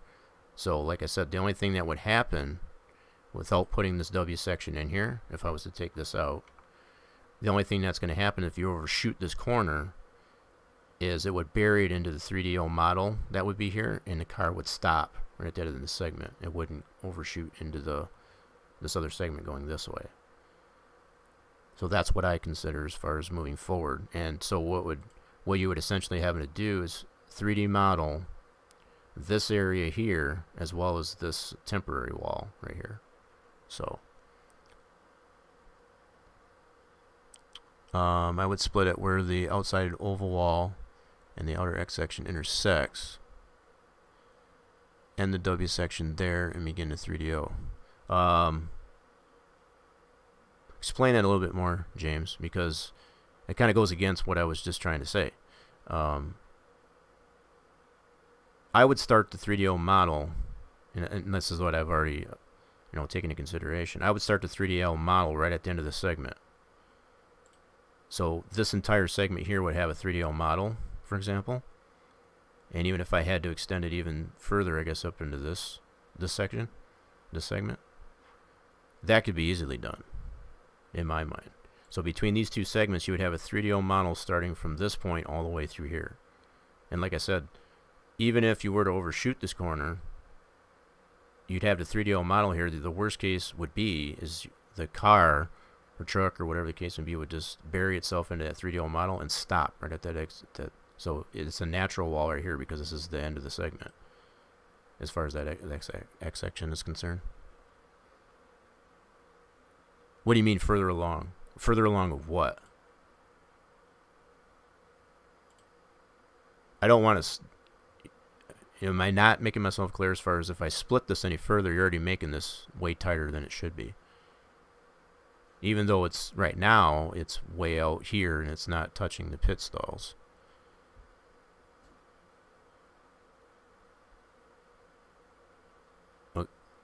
Okay, you're talking which outside wall? This outside wall? I can't go any further there. So if I was to make, if I was to put the uh, the W section here, right, I would have something like this. That I think is too making it too tight. You're taking away from a lot of the racing surface and even having the ability, I guess, to overshoot that corner. Yeah. See that inside X section there? That's way tighter than you want it to be. So if I was to split that again, yeah. Oh, here it's fine. Here's where it becomes a problem. This is already way smaller than it. This is as small as you want to go. Because you get these two interpolations, I guess, as far as these X sections too close together, you're going to have issues. Guarantee it. Right. And that's what I that's that's what I was trying to point out. You don't need this W section. So if anything, whoops. So if anything, like I was saying, you can have the geometric spline of the wall going up, at least up to this point. This would be all a 3D 3D model going through here up to the end of this section if necessary. And worst case scenario is if you if you were to overshoot this corner going into turn one, the the car, truck, or whatever would just bleed into that 3D model and stop right at the end of that X section. It wouldn't be able to cross over there because this is not open on open on right. So that's kind of its own natural barrier. That's what I already consider. So this would have to be modeled, you know, between here and there. So between this point where I got the W section and right over here would have to be uh, yeah, I think I can throw it. Let me see if that, now that I think of it, let me see if I can put a W section in there. Uh, da -da -da. Let me see how this actually, yeah, see that would all have to be modeled in there too. So I wouldn't be able to use that here as well. So that would be the same same scenario on this segment coming out. This would all have to be 3D modeled. So like if you overshoot this coming out of here, the natural barrier would be right up against this here. And due to the fact that I don't have um, the actual data, you know, in this image, I could probably apply one, stitch one together and actually apply one as far as what they actually had here for barrier. I know they had one at least going in this turn one here, but how far it actually extended over coming out this way, I'm not 100% sure. I can only imagine that I can create this island you know, between this side and this side as a 3DO model, and then this would just be a natural barrier. So if you were, like I said, if you were to shoot that, you would just bury your car truck, I guess, into this 3D model. Uh, this here, I should be able to put a W section, so let me check that. Uh, let me see how that presents itself. Yeah, this shouldn't be a problem. I can mark this as Euclidean. Yeah. So, like I said, the only re region that you would have to model would be between this point and that point. So all this would have to be a 3D model, I guess, of the walls. And you would already have, like I said, that natural barrier as far as the, the outside segment, outside of the track segment. So that, I thought that was kind of important, I guess, to mention there too. Uh, appreciate any input, though. I mean, this is um, I'm not uh, trying to snowball anybody at all. I'm just trying to clarify, I guess, what um, sharing the information. I guess they already do know as far as what works and what does not work. You know, as far as my experience, I guess, with this. So um, that's part of the reason why I do the streams. Now, whether or not, and we've we've already pointed this out as well, um, this layout that we're doing. This is this is all going to be uh, research and development, to be honest. Um, again, applying what we do know, I guess, as far as how tracks behave. The fact that this type of uh, layout for a road course is totally new for the um, NR 2003 simulation. This is why I choose this. I guess is why because. Uh, uh, you're combining, I guess, both the aspect of an oval track with a road course, hence the roval. So it's like, how do you marry those two together and make it work, I guess, in a simulation that is as old as it is? You know, the fact that we do have road courses in the the simulation, be it like uh, Sears Point and or Watkins Glen, to me, those are totally different animals because you're not applying much the same concepts as you would on this type of track because you've got a lot tighter radiuses and, and so on and so forth, at least in my mind. I'm just um, speaking, I guess, from my point of view. And, you know, because trust me, I guess I have, this is why I have never considered doing a road course up until this point. Because I've always been uh, more of a oval uh, type of builder. So the fact that we have something that's in actual existence for this is like, how do you get that to work feasibly? Rationally, even. You know, what makes sense? So, yeah. I'm glad to see any um, in input and feedback, I guess, as far as. I'm not trying to make this a piss and match, I guess, as far as, you know, well, you should be able to do it that way and no questions asked. It's just like, you know, I've got plenty to bring, you know, in my experiences as far as doing these types of things. Even, you know, I, I still consider myself somewhat old school when it comes to uh, applying general building practices. Um, but also, I'm kind of an old dog and teaching myself new tricks as far as to um, apply the new aspects as far as what I know, I guess, as far as playing around in the different sandboxes of other racing simulations, be it Assetto Corsa, and what have you. So I'd like to bring as much of that information, I guess, into this fold as possible, and that's that's what I think about. And I'm hoping everybody, anybody who's anybody that's in the stream would uh, somewhat agree with me at least, and not be totally um, ignorant of the fact that that's you know, well that's that's that's him. You can't apply that. Don't tell me that because I already know that's not true. It's not true. The fact that we've been able to apply pretty similar aspects that you would see in other racing simulations to include um, even iRacing for that matter, you cannot tell me otherwise that it can't be done. Because I say that's fooey. Okay.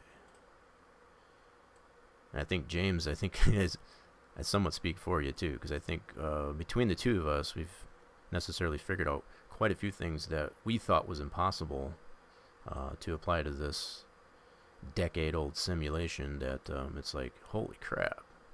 Um, that's why I'm pretty excited, I guess, to bring in the the whole idea, I guess, of uh, using the lidar, the point cloud information. We'll eventually get that figured out, that's for sure. Oh, we still doing shots? Nice. Very nice. Oh, James finally got one. Good for you, James. Happy for you. So, um, yeah. So, I am really curious though as to as far as how this thing is actually going to behave. Um, if we were to put this actually into the simulation itself, that would be really interesting. I'm really curious. But I don't want to get too anxious because uh, and, and, there's nothing wrong with that. You know, it's like I've already mentioned it already as far as um, the fact that you have the ability to put this thing in. Once you get um, even where it's at now, before even putting these wall sections in your SIM, you could put it in the in the simulation and actually test it. That's all you'd be able to do is test it. You couldn't run it into a race mode without making some LPs for it, but uh, yeah, you have that ability to do that. Um, I myself tend to take the approach of I want to get as much applied to the track as possible before I do that. That's just the approach. That's the approach I take to it. You can approach it however you see. You know, if you're kind of giddy and want to, you know, try it out and see how that works before moving forward, absolutely. Do that. The simulate, you know, as far as the way it's um, designed there, does let you do that. Okay, the fact that there is a gate right here, I'm not, I'm not going to get that detailed with it. I've already uh, um, considered, I guess, as far as this this type of thing here. Uh, but there is a gate here that I noticed here, and I saw that um, I was able to make picture reference, I guess, of that. To be honest, so I know it does exist there, but I'll probably just paint that on there. You know, as far as the wall texture, I'm not going to actually split that, I guess, to make that happen. I've seen that take place too, and I think that's kind of ridiculous as well, as far as uh, tracks getting split up, I guess, to get a logo, I guess, in a specific spot on the wall. That's terrible idea as well. What's inspiration? What's inspiration there, Torch? Inspiration as far as, uh, uh, yeah, I forgot what I was saying there, I guess, as far as, yeah, what did you, what, what you doing? The skew? Um, yeah.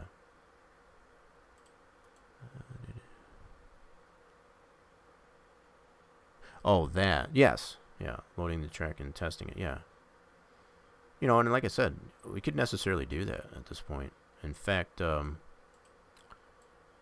what you would have to do, the, the, the primary um, prerequisite that you have to have as far as testing it in the sim, at least for testing mode, what you need to have, you need to have your track INI and at least that very first pit stall defined. That's really about the only thing you need to be 100% honest. Now, to race it, you know, to actually race it and go into race mode, you know, and put the AI on it, you would have to have a lot more done. You'd have to have the LPs defined, um, your pace car, um, that stall location defined, all that stuff. So, and we will eventually get there with this build.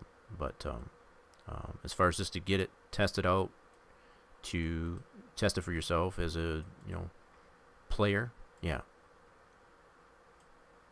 can do that pretty much any stage. I mean, as long as you've got a PTF, um, your your track INI, everything uh, you know applied to that. You don't even have to DAT it if you don't want to. Um, you can keep your tr uh, track unpacked as far as in the game. Um, eventually, you know, and this is why I take the approach that I do. Is I don't I don't like to have unpacked tracks in my game, my, my track games directory. That's just my approach. I don't like that. I like the only place that I have unpacked tracks is in my uh, track editing directory. It's the only place. So that's you know that that's kind of my own uh, work ethic, you know, my uh, workflow. So any testing that I do in the game, as far as um, everything's packed, everything is if it was done. So it's like the, the track is dated, um, such of that sort. So.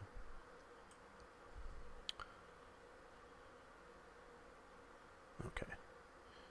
Making sure timers are working on the chat too, so that's good. Feel free to, I guess, to for those that are in the chat that I haven't um, necessarily spoken or made themselves heard, you can um, check those infos available.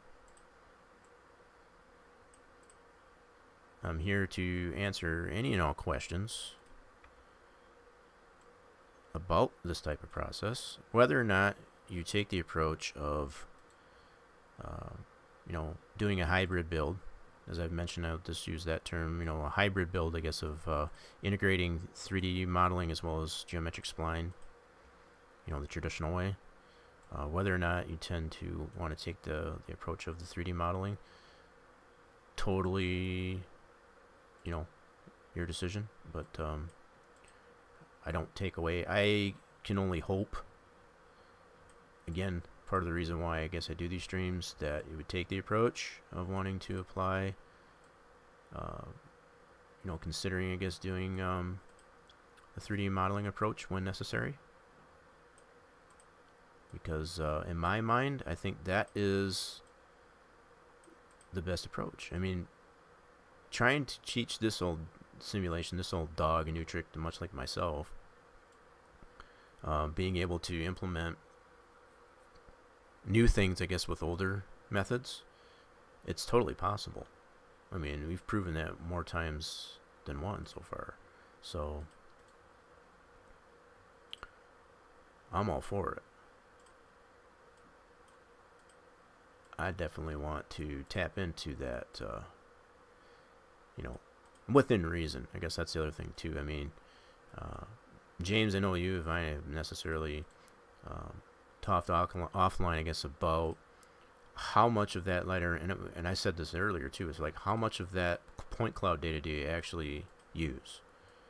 You know, how much is where you say, you know, do we really need that? You know, that's the other thing.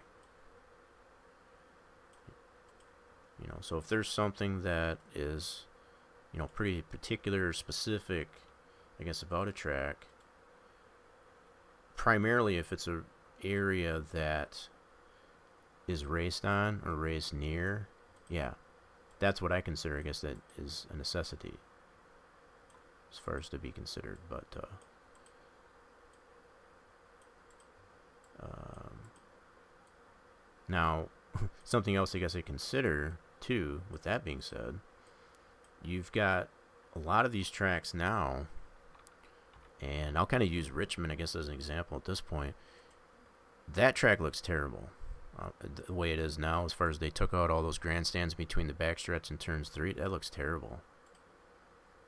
Um, I thought I had seen the worst of it when um, I had noticed my home track, I guess at MIS here, when they took all the stands down that they did there primarily, I guess in um, uh, turns three and four. It looks so bare over there now. It's it's it looks terrible. I don't know how else to put it. I mean, it's but the fact that by taking all those types of big structures out, you open it up to where you've got to apply a lot more of the actual scenery to the track because you know be it if there's mountains or whatever in the background or what have you you got to apply all that now because that, that that that type of stuff wasn't visible I guess with having um, grandstands you know in its way so yeah that's what you necessarily consider I guess as far as uh,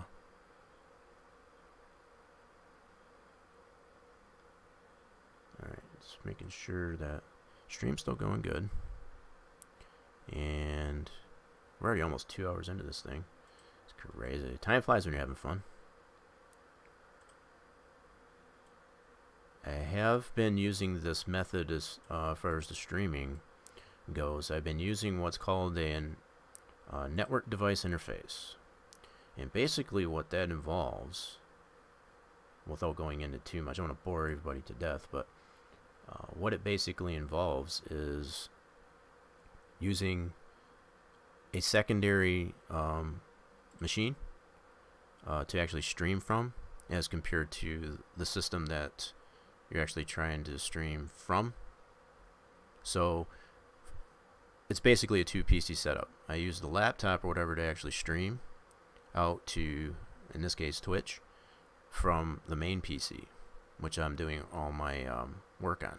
So it takes the strain off both my all my RAM and you know system resources I guess on the the main PC and, you know focuses just the streaming stuff I guess on the laptop. And I've been able to do that all both wirelessly as well as now right now I'm hardwired as far as on the laptop. So yeah, that's something else I've been toying with I guess in my um, off stream time as far as um, and really what it does is it takes so much more strain off um, the RAM especially when I'm in such applications as 3D Max you know more demanding um, applications as such. Um, when you're streaming off the same for anybody that streams at all and you know you kind of know what I'm talking about as far as when you're trying to stream off the same machine that you're doing your work on and like I said, particularly if you've got uh, if you're running applications that, can, that use a lot of RAM and what have you, that's a lot of strain on that when you stream on that same PC. So the fact that I've been able to move a lot of the streaming stuff um, onto the laptop and take the strain off of the the main PC, that's, been a huge, huge thing. And that's all using the network um, device interface or NDI for short. So for anybody that was interested, I guess, in under, uh, wanting to know, I guess, what uh, that type of thing's all about. And you don't really need a super strong computer uh, to stream. Uh, if you want to, if you want to be able to stream, I guess in like 1080, yeah, you know, you'd have to have a pretty decent. Uh, but the fact that uh, primarily I stream in 720, um, yeah, don't need a really beefy machine, I guess, to do so. Just a strong, you know, a pretty decent. You don't even have to have um, high-speed internet. You can have uh, broadband, but I do have the high speed. It does help. I will, must admit, but um, it's not necessary with NDI. Okay. Yeah, so I'm just kind of glad I'm able to do uh, these types of things, I guess, in the fashion that I'm doing it. And, uh, yeah, just kind of share my own,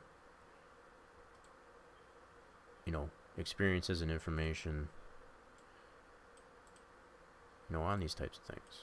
Um, eventually, what I would like to do, which is going to require me to upgrade uh, my version of 3D Max, um, I do want to get a little bit more into um, uh, doing such things as uh, Wreckfest, things like that. Is that's kind of really interesting. I've been able to still do um, Assetto Corsa um, as far as creating FBX files of tracks um, in 3D Max. 14 is what I'm using currently, and um, the fact that um, uh, simulations like Wreckfest they tend to use uh, newer versions of Max, you know, be it uh, 16, for example. Uh, so I would, like I said, I would necessarily have to upgrade in order to get more into doing those types of things. But as I was saying earlier, it's like those types of simulations they don't have a secondary program that you must use in order to create you know so like NR 2003 you have to use sandbox. You don't need any other application to create your track. You create your track all in the 3d modeling program. You define the particular areas within the 3d modeling program as a pit stall or starting position or what have you and the game picks it up that way that's what really interests me so I haven't heard anything about that torch. I mean, that'd be interesting. Why they would even allow that is beyond me because uh, the fact that pass files were only created, I guess, as an advent, I guess, for NR 2003, you know, that we're talking 15 year old technology. So the fact that they even make uh, pass files available for 19, I'd find that kind of strange. I'm not going to say it isn't, but it's like, why would they do that? I mean, there's there's there would be no reason for them to allow. I mean, if somebody's created a pass exporter, I guess for 3D Max 19, that'd be awesome. Because then you would you would remove the necessity to have two different versions of Max. So, well, and that's you know, the fact that whoever created, I think it was Fred Anderson, Fred, I forget the name of the person that created the pass exporter for. Uh, uh, originally Max 5. Actually, I think it was like Max 3 or 4. But the fact that that pass exporter was created for that um, version of Max, you know, it would take someone, a creator like that, I guess, to create a plugin, I guess, much the same fashion for the newer versions of Max. And that's why we, there's no one has stepped up to that plate to do that. I, I don't know nothing about that type of thing, so if I did, I would have created one by now. and I'm sure somebody else would have too, but I think it's going to take whoever created that pass exporter originally for Max 5 to do that type of thing. And I'm not going to say that there isn't one, but yeah. It would definitely eliminate the necessity, I guess, for um, having the two different versions of Max. I guess to be able to do work with one simulation. Yeah, so so far the only area that we would need to 3D model is that one area that I pointed out way earlier. And we're coming up to that point again here pretty soon. And um, the fact that um, if we were to spit out a DAE of this track, oh, cool, I guess I am right there. Cool. Right back where we need to be. So we got our outside wall in there. So yeah, the only area that we necessarily do have to model is between this point and this point. So all this in between here would have to be modeled as far as uh, some type of 3DO model. And you would have the natural barriers there. So um, if we were to spit out a DAE of this, and I can probably actually show that, um, what you would get is where the end of this F sections are. So you'd already get that. That would already be defined as far as where that region would be. So to include the W section. Now, if I was to go so far to, this probably another fair mention, I probably didn't uh, touch on that enough. Um, in order to get where your walls are, not only would you have to texture them, you'd want to put some level of height here so that that would show up in the DAE.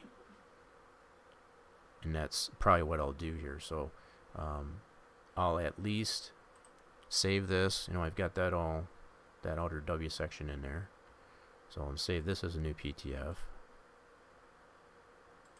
Okay, so I'm going to save this as a new PTF. Okay. And then, whoops, and I forgot to do that again. See, I'm going to go ahead and turn my textures back on. Ta-da. Otherwise, if I were to go to open that later on and saw that there was no texture, I'd probably freak out. I'd be like, what in the world is going on? Alright, so let me save that again to the same PTF. And in that case, I'm just going to save the same one. I'm not going to make a new one. I just wanted to make sure the textures are on. I didn't make any changes other than that. So, yep, now we got our outermost um, uh, section here. Now what I'll do is go ahead and apply some um, level of height on this as well as some texture to the wall. So I have something to translate in um, and I'll probably do that for pit wall too. I'll probably go so far as that as well.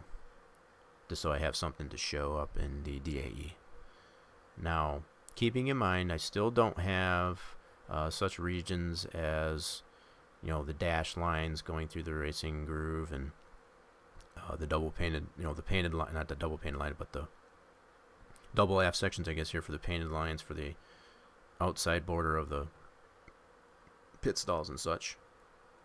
But that's okay. Um, as far as just uh, getting an initial uh, DAE so that I can create uh, such models as what would be here you know, to fill up this hole that's going to be presented here um, to include, I guess, this uh, region, I guess, where there's not going to be a geometric uh, spline here for the outside wall. Because we definitely want to have something there. Visible, at least. Okay, so I'm going to go ahead. I'm going to start here. And this is where goes into what I was talking to before. I'm going to turn this view off actually for now. Don't need it. At least not for now. I'm going to go ahead and start with now usually when when you first open your track and this is pretty common when you first apply your W section you're always gonna it's always going to be set by default Armco left and undefined as far as it being racing surface apron pit road what have you so you want to make sure um, you set all that before you copy forward. So this is going back to um, using that copy forward function. Um, so now what I'll do, and I can actually go into my um, camera view into this region. Should be able to find it roughly here now since it's somewhere about this region here. I should be able to see this actually be applied. So I'll keep it on here just for, should be generally in that region there. So if I go to apply, this stuff won't show, but I'll go ahead and put this as a wall and define this as a racing surface. And then for my top wall for the texture, um, I'm not even sure. I got a bunch of textures in here, but let's see what I got. Yep, I got a wall top here, so we'll apply a wall top. I'm not really, um, I mean I can get a little bit. Pick, I'll just go ahead and apply it this way. I'll do one. Uh, we're going to apply this as perpendicular. And some people get it conf uh, confused, I guess, as far as what the difference between perpendicular and vertical is. So if you apply a vertical wall, what it does is it stays perfectly straight up and down.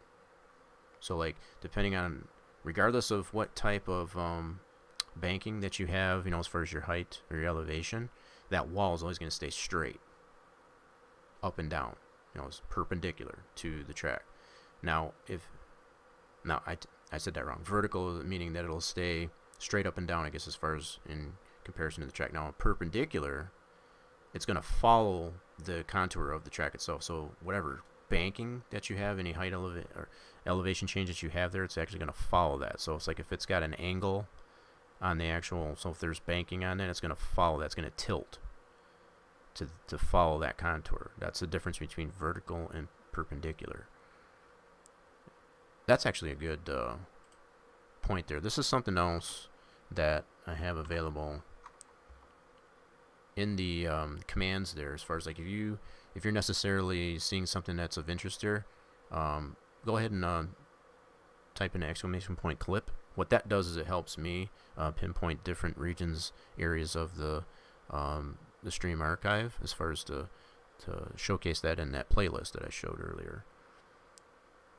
So it's like if, it, if you if something interests you that's uh, a point of interest for you um, you have the advantage to just either clip it in the chat here or you can clip it um, um, actually the Twitch uh, clip function. So either way you have that uh, that ability to do so.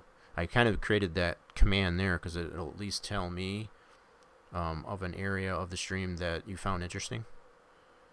You know you found of useful that was more useful I guess than some of the, the other stuff that I've pointed out. So yeah that's something else I guess um, I'll point out, I guess, to viewers out there. Alright, so um, the standard wall height, this is all standard as far as the width is going to be uh, half a meter um, as well as one high. Now we should be able to see the texture on top of the wall here somewhere. So let's see where we're at. What in the heck is here? Oh, that's interesting. How'd that get there? What? That's interesting. How did that painted line get there? Where the heck is it? I don't remember applying that. Let me see. That's interesting. Uh, let me see where that's at. Uh, da, da, da, There's Pit Road. So that's on the other... Oh! No, that is a painted line. What the heck? I don't remember putting that in here. Let me check that out. So that's on this side. Oh, I see what I did. That's my actual... What I do? What I put in there for texture? That's my wall. Duh. I thought I put it on wall top. I guess that is a wall top. I'll be damn. Okay. Yep, there's my wall top. So, yeah. I was I was considering it was going to be white. I forgot I had uh, the yellow textures in here for the. It's based off uh, the old Charlotte yellow walls. I was like, what the heck is going on? Yeah, so there's my wall top that I put on there. That's fine. These these textures aren't going to be um, uh, considered final, so uh, we'll leave that as that. Now you have for your wall sections, you have the different facades. So you have your top, which is here. That's pretty obvious. You have your left side, which is generally the side that faces your racing surface. So we need to apply that one there. I'm not going to worry about thickness and the height and all that stuff for now. I just want to get a general wall. So I'm not going to put any fences or anything like that in as of yet. Um, so now I want to do wall and I'll go ahead and apply this as a 1 as well okay just to get a texture on there and then your right side walls is going to be in this case would be the back side so that's going to be So that's the side that faces the racing surface. This is the side that faces away from the racing surface. So that'll be this side. So you have the ability to use your camera view. So I'll put the wall texture on that as well. Like so. And I'll just go ahead and put a texture size of 1.00 on that for now. And just getting this set up here, so now what I can do, now that I have all those facades, I'm going to keep this all the same. I set this per perpendicular and be it the fact that the track is still flat, it's not going to be too relevant. Okay. Um, you have the ability to, I guess as far as, um, this is going to be completely closed in, I suppose. So um, if I wanted to put an end on this here, that would be walls near, and you, the way you define that as far as whether or not if it's a wall near or wall far, you have to consider the direction of your track.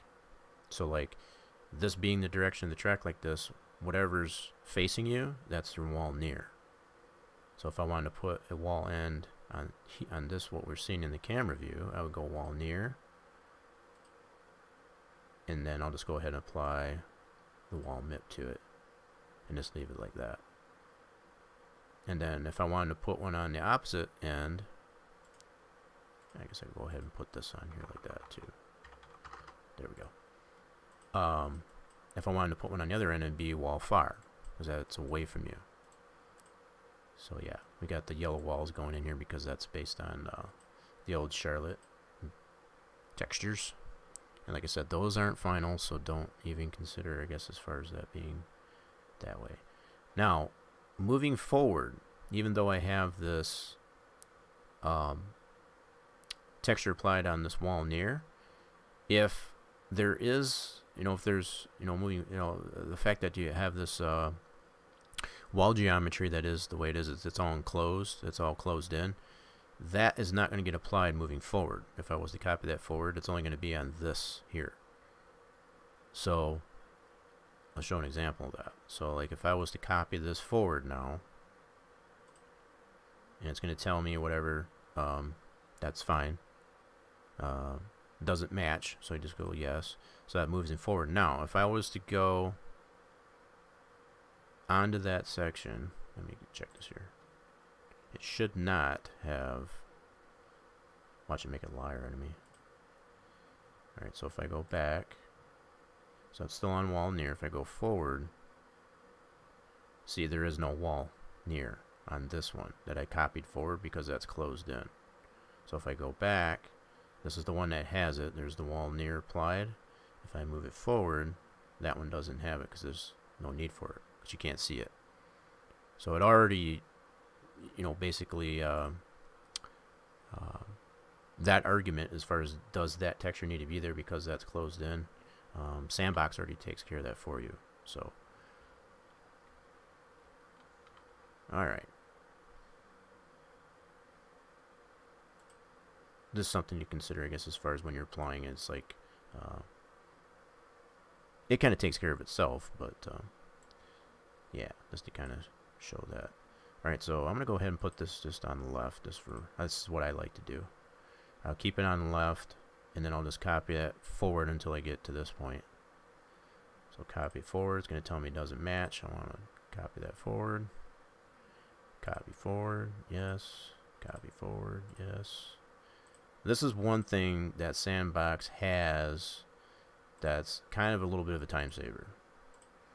But as I said before, you want to use this um, in, you know, somewhat in reserve because you can get carried away with this one this method here because if you've got logos and stuff on your walls and you do this same type of process, it's going to, if you got any logos applied as far as doing the copy for it, you're going to screw up all your logos. So you definitely want to be careful as far as how you use this copy forward. So if you've got lots of logos on your walls, probably not a good idea to use this copy forward. But if you're going to have a lot of um, similar textures I guess carrying through just like we are here yeah this is kind of a nice little time saver as far as using this copy forward feature Okay.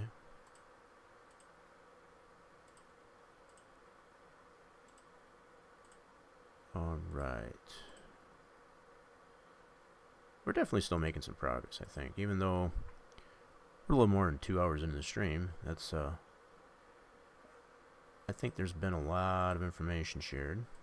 I still will probably get into, um, as I was mentioning, as far as uh, uh, looking at the DAE of this thing, because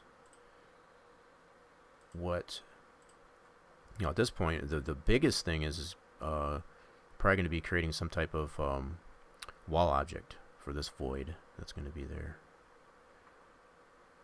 That is going to be definitely noticeable. Definitely, definitely. Okay, so.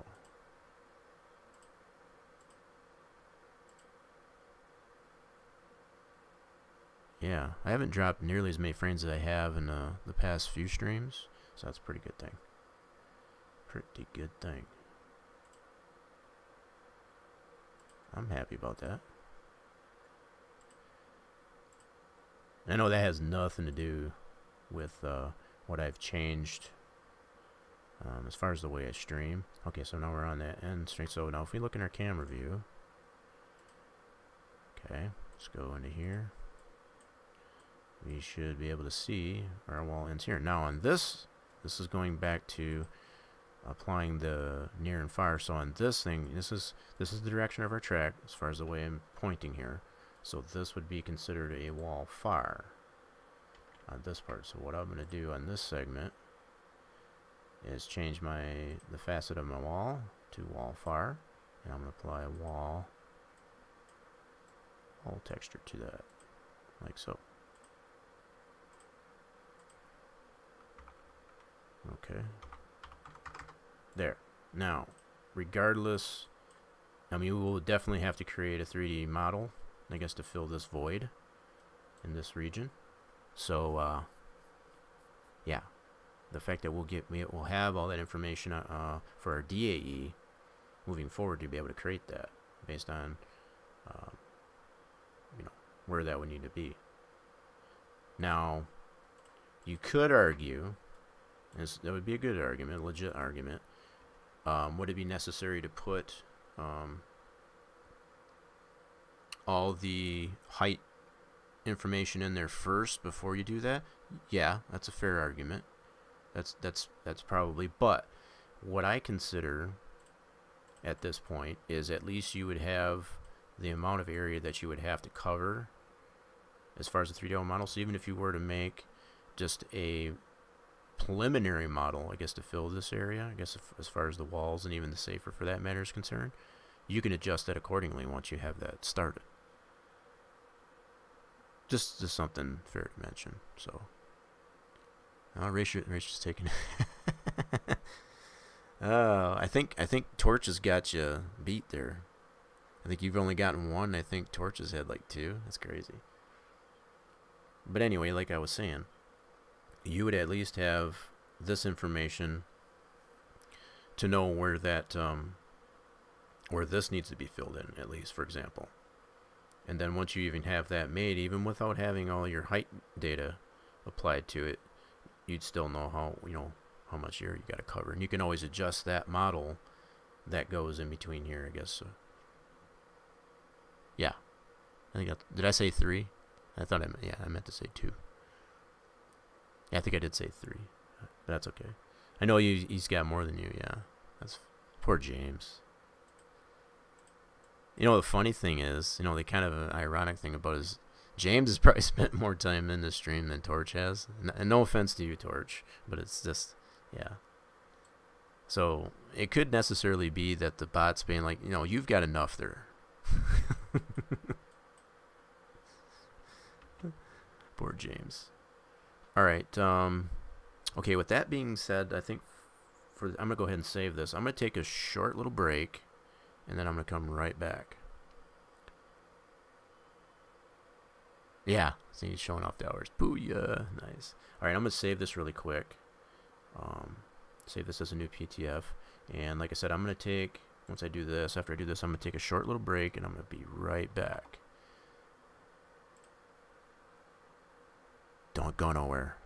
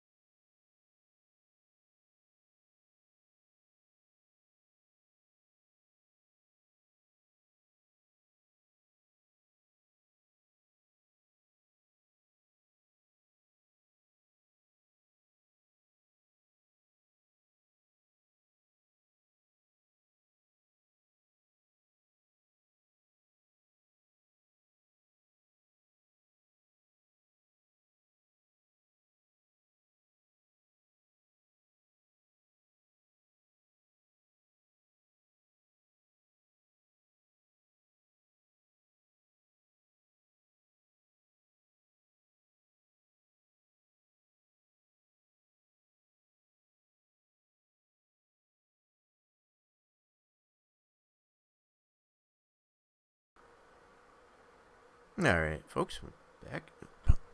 Take a little break there. Um, shaking my head. What are you shaking your head at? Torch, as far as all the. oh, you're comparing notes, I guess, as far as. Alright, so. Where did we leave off here? Alright, so we saved the PTF. Um. Yeah, as far as the uh, yeah, so what I was going to consider now is I could create, I, I could uh, open up a DAE, I guess, of this. And what I'm going to do, since I've been in, in Sandbox here for a little over a couple hours, I'm going to go ahead and close this right out. So I can refresh that. So this is all that is uh, currently available uh, present in our uh, track build. All we have are PTFs and our track mat files. We have no 3DOs, nothing else. We got our background image. So, those are rookie numbers you gotta pump. uh, you you play nice there, boys. Um, yeah, so now what we have the ability to do is I can open up the 3D Sim tool. And so I'll go ahead and do that. Uh, I got it right here. Open this up. And I can navigate to do an import and navigate to track edit directory to our Charlotte Roval build. And we want the latest one here which would be this one. I want to get the PTF not the SBX and we should be able to load this. And there's no TSOs anyway but I'll do no And there we go. So we have our DAE. So what that does is it only uses the um, uh, F sections. It excludes the X sections. Right? So this is what's going to be defined in this in this DAE is where the F sections um, land to include the W section that we just applied. So with this information, even as it sits, we have, I guess I can't do that, that sucks. Um, I was trying to use my middle mouse, but I guess that doesn't work in here. The infield looks so flimsy. It does, doesn't it? Yeah, there's not much to it yet. But you get the, the general idea as far as the layout of it, at least. But what you do necessarily have here is this information as far as to create this void. You know, to get that started. Uh, to include even the trajectory, I guess, of, you know, how much curvature you would put, you know, in the, the temporary wall. So between there, you know, the, the, the end of the pit road is here. So even to um, create a DAE and you would have all that information, I guess, to, to fix this area. Um, the end of pit road, it doesn't really define that, and this is what I was talking about earlier as far as how this is going to show in the DAE because, you know, it's laying out the actual end of the track segment. Um, pit what you almost have to dissect this, I guess. Um, what you could do um, is you could put it like a TASD, for example, to define where the end of pit road, you know, where the end of the first pit stall would be, and that would give you an idea, and that, that would show in here. Your TSDs would show if you were to apply TSDs, that would show in this DAE. So you would have a better understanding as far as how you would uh, create you know, either a model for this to cover this area as well as those areas with the miscued textures that we were talking about way earlier. So, even with this though, is this gives you quite a bit of information as far as what you would need to fill this void um, and get uh, an, an initial or preliminary model, 3D model, to fill this void. You know, to uh, go in between these two um, track segments here, you know, as far as uh, this one's going this way and this one's coming in this way. So yeah. It's, um, yeah, so what I could probably do at this point is just save this as a, a, a DAE. So let's do that. Let's do uh, plug and export. Yeah, should we automatically go to DAE? So you would usually have options here. But what you do want for sure is the Collada DAE.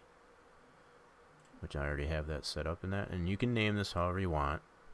Uh, right now I got it pointed to the desktop. So yeah, you can choose where you want it to uh, where you want it to save and what have you. So go like this. And I usually keep this all default.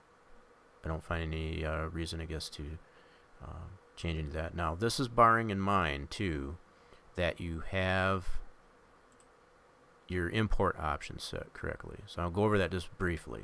Okay, There is a video that James necessarily does have he's created there as far as what you need to set your um, import options in. So as far as bringing this PTFN, how much detail is actually maintained in the track when uh, 3D SimEd imports it and these are the numbers that um, you should have them at, I guess, to get um, a reasonable amount of detail, I guess, into that. These these have we've proven, I guess, to be sufficient. Um, and this is uh, necessarily considering um, um, what Dave Noonan has regarded, I guess, as far as what um, how much information you actually have shown in your uh, your DAE export as far as based on the PTF. So uh, that's probably another that's another good one I guess to clip. To be honest, here I'll go ahead and throw this out there too. Feel free to use that. So what that basically does, if I didn't explain that, I guess uh, uh, well enough there, it, it creates a timestamp for me to check. Um, it creates a um, text document of sorts for me to check uh, based on my chatbot to check out uh, those particular areas of the stream uh, so I can create uh, potential um, clips if nobody else has done that. That's for sure. So, anyway, just wanted to go over that really quick as far as that goes. This is what um, we have found between uh, James and myself, and even conversing with uh, the likes of David Noonan, the creator of the 3D SimEd program. Um, what we have found to be um, uh, useful, uh, reasonable uh, settings, I guess, for creating a uh, a decent DAE export, I guess, from based on the PTF. So I'm gonna go ahead and cancel that because I got that all set. Um, that should have put that on my desktop. So let me check that out. Uh, let me see here. Minimize all this. Whoops, I forgot I left that open. Uh, I'm going to leave that limit 2 open. Yep, so here's our DAE. Right here on the desktop. And we could necessarily open, from this point, we can open this up in um, uh, 3D Max, which I can go ahead and do. Let me go ahead and close 3D SimEd. We don't need that anymore. But you know, just to give you a little bit of information, you know, insight as far as how um, how much information you can get um, off the, the PTF uh, through 3D SimEd. You know, as far as uh, potential creating models and even with that minimal amount of information, it's still quite a bit of information, to be honest. So, what I'm going to do is I'm going to open up Max 14. Let's beam this up. Hopefully it doesn't kill the stream too much. You know, sometimes it does do that. You know, ever since that I did move um, all the streaming stuff onto the laptop and, you know, reduce that strain, I guess, on the uh, the resources of the the main PC, yeah, I haven't had too much a problem. So, hopefully it doesn't make a liar out of me at this point.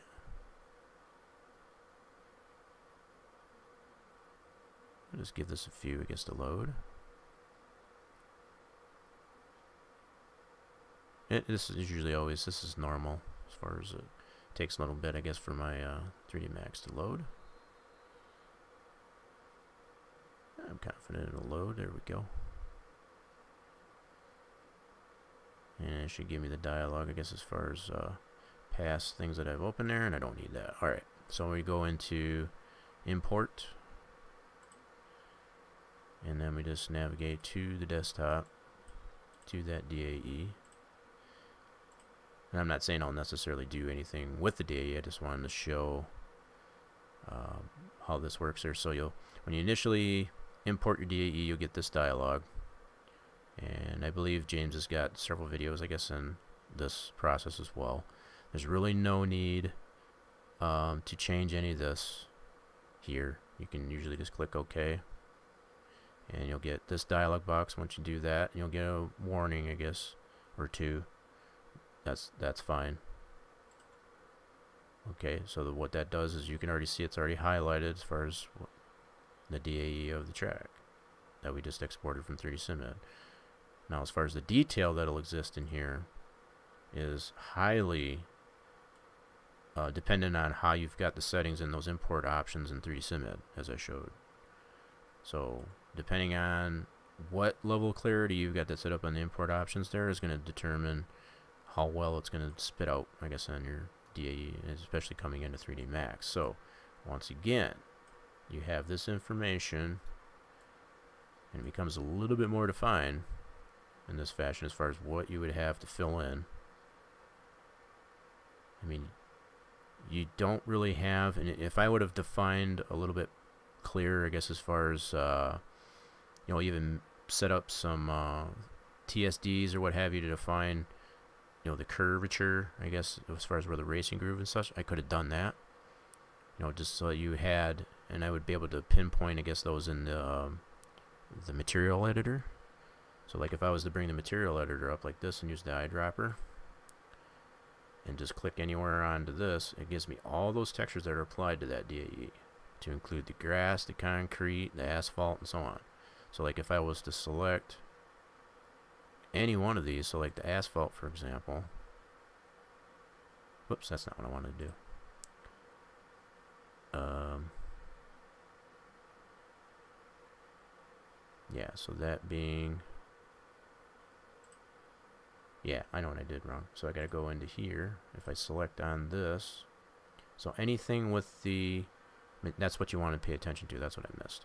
So you pay attention to what the uh, material ID is. So if, if I wanted to just, for example, the anything that was asphalt, now let's do concrete. That's a little bit more defined. So that's ID 5.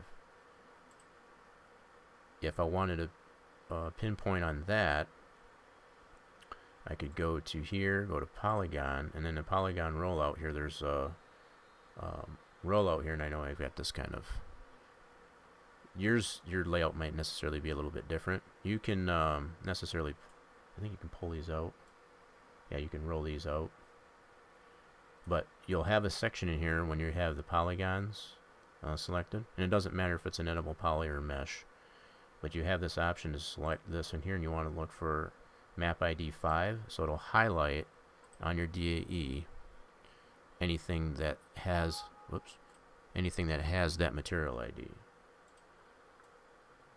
so if I zoom out on this so anything that has concrete on is going to be highlighted. So if I wanted to isolate that I could go up here and detach for example. And I'll just detach that as an object. So now that's detached. If I go in here this is now its own object so now I can from this point, I can take this here, um, segregate that out as a model by itself, and I can map that independently. And that's something that I had um, considered.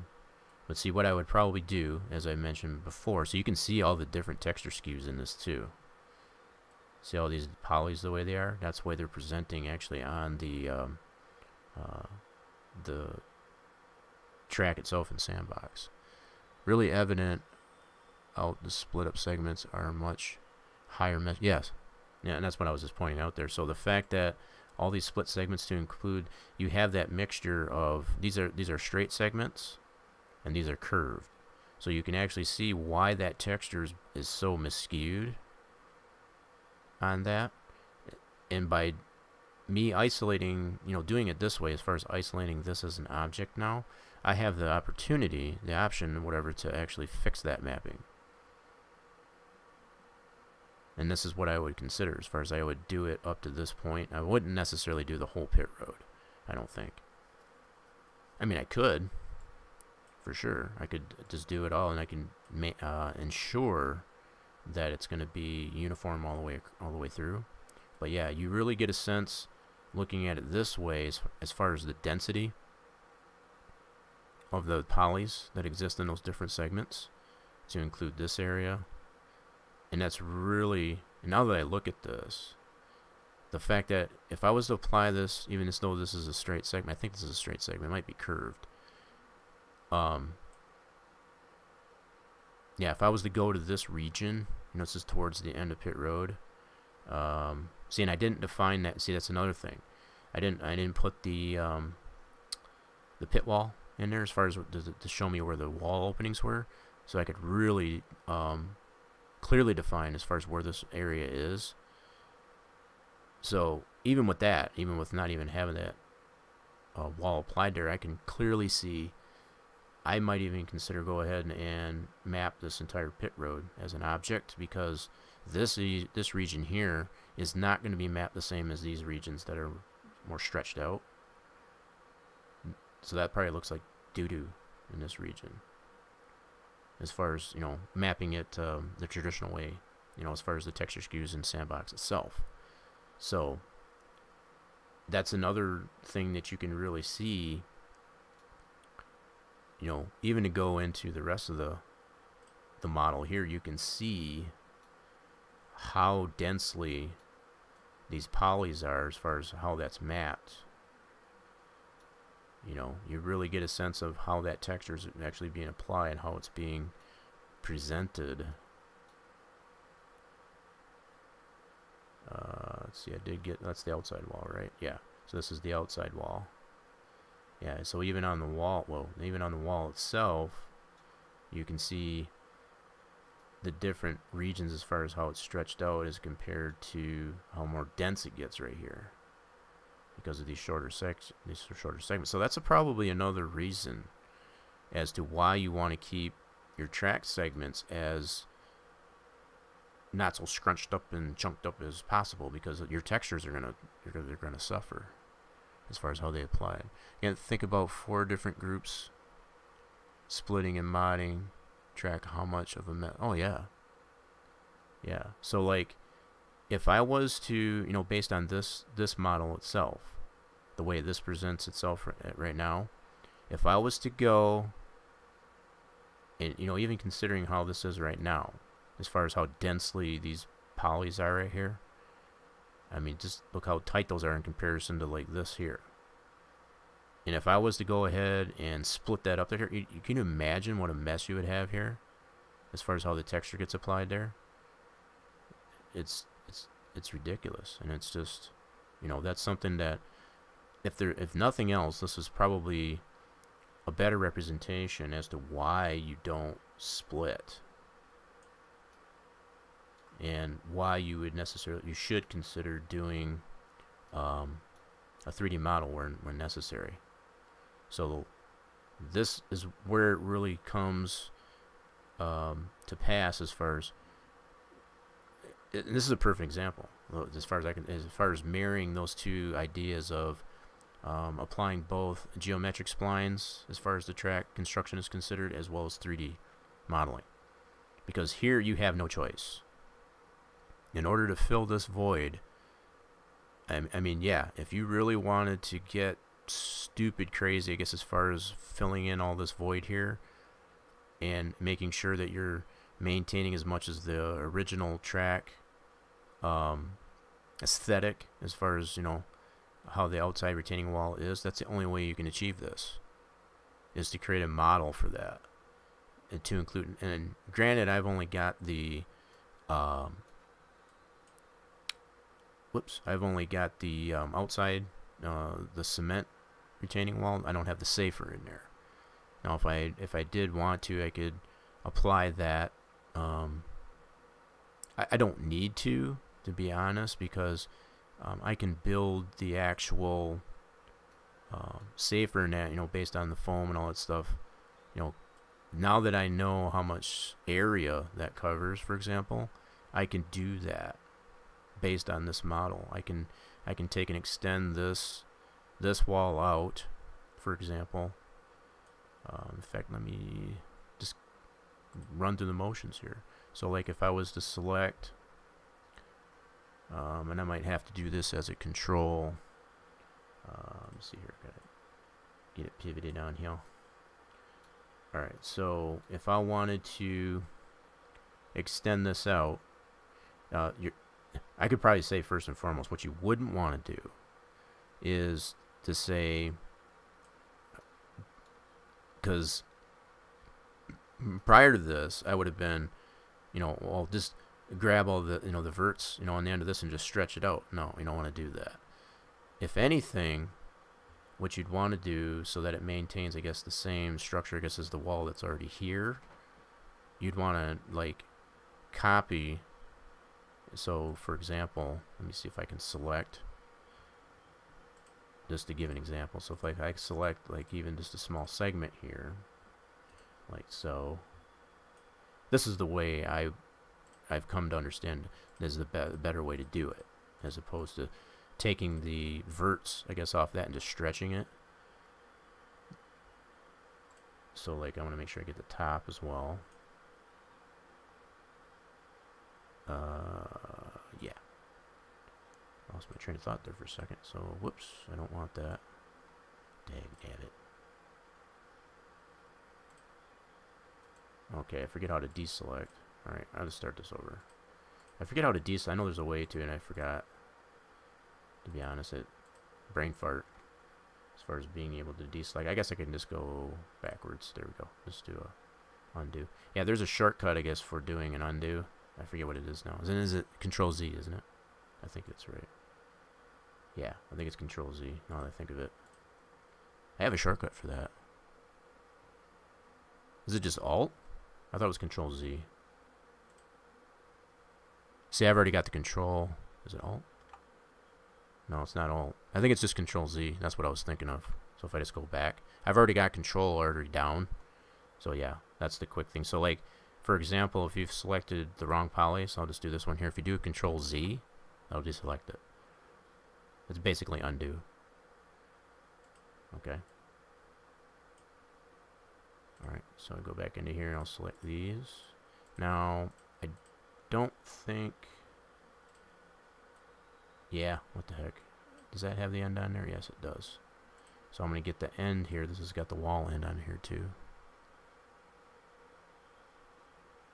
Oh, see, I don't. Yeah, I don't know if that work. It, what makes more sense to me is a Control Z because I already had Control um, held down, I guess, so I can select the multiple polys. That might work too. I'm not sure. I haven't. I don't usually use it that way. I knew that it was something that I was because I'm already holding Control, like I said. So like I knew there was another key and I just forgot at the moment there. I just used Control Z. Um, yeah. So from here, what I could do is Uh, I'll detach this one. Like so as a new object. And then what I can do from that is clone it. Hey come on now. Oh so I gotta get it off of here. Yep so there we go. So now I got that. Now what I can do is clone that. Alright so I'll go clone. Okay and then this is the other thing I always get mixed up with and I've got a shortcut I guess on this too. The difference between an instance and a clone so if I do it as an instance anything that I do as far as moving that forward, you know, if I was to make an instance of it, anything that I make changes, you know, moving forward on the new piece is going to affect the original piece. If I do it as a copy, that's its own piece. I might have said that wrong, but I do have a shortcut in the um, how-to list. So I think it's under the how-to, exclamation point how-to.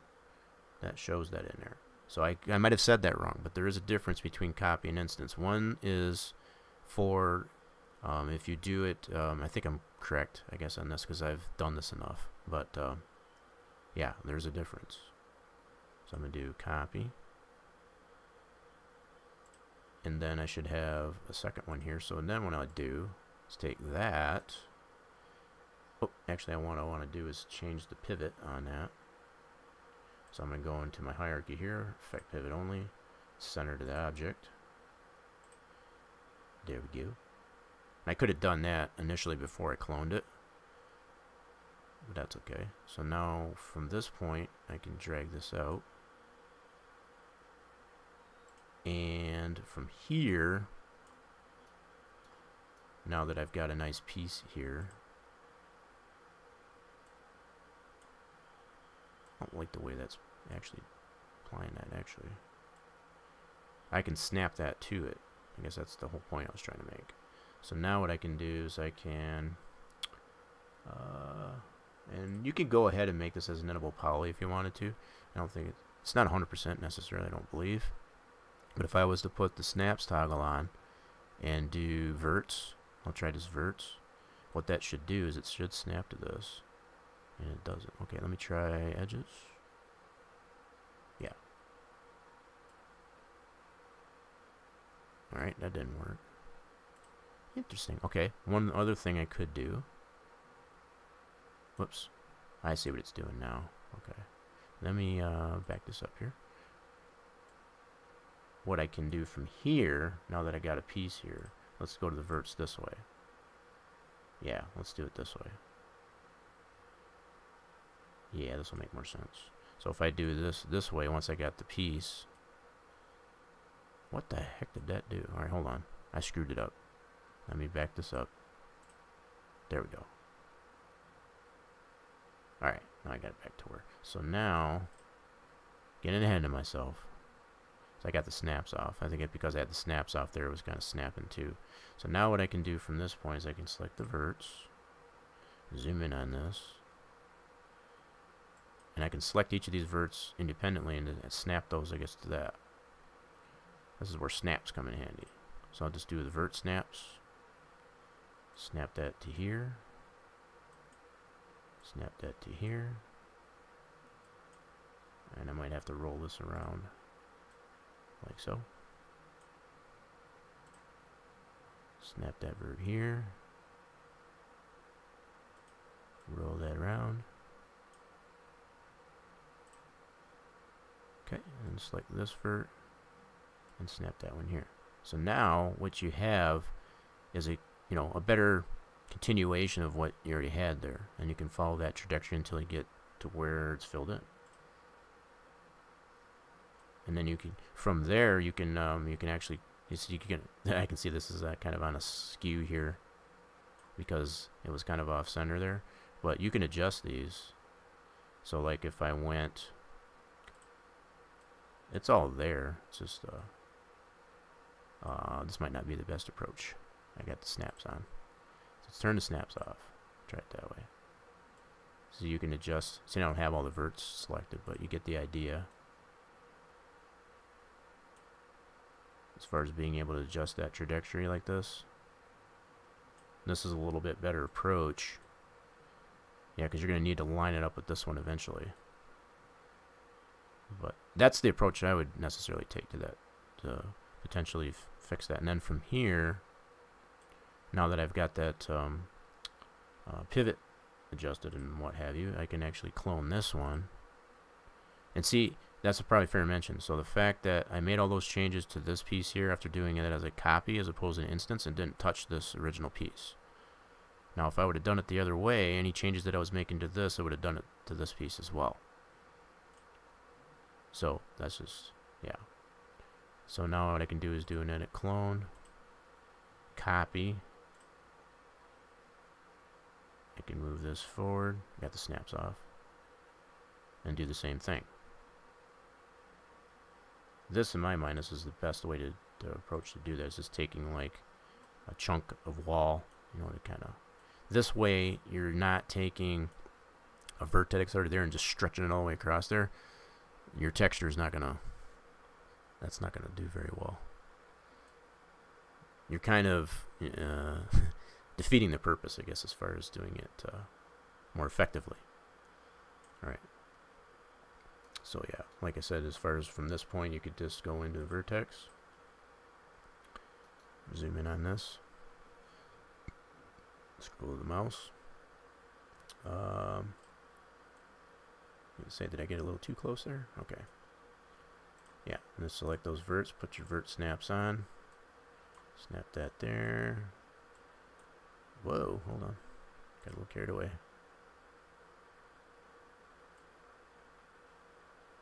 There we go. It's kind of a little hard to see, probably, in that view, but, uh, yeah, probably do me better if I, uh, roll it around here so I can see what I'm doing. There we go.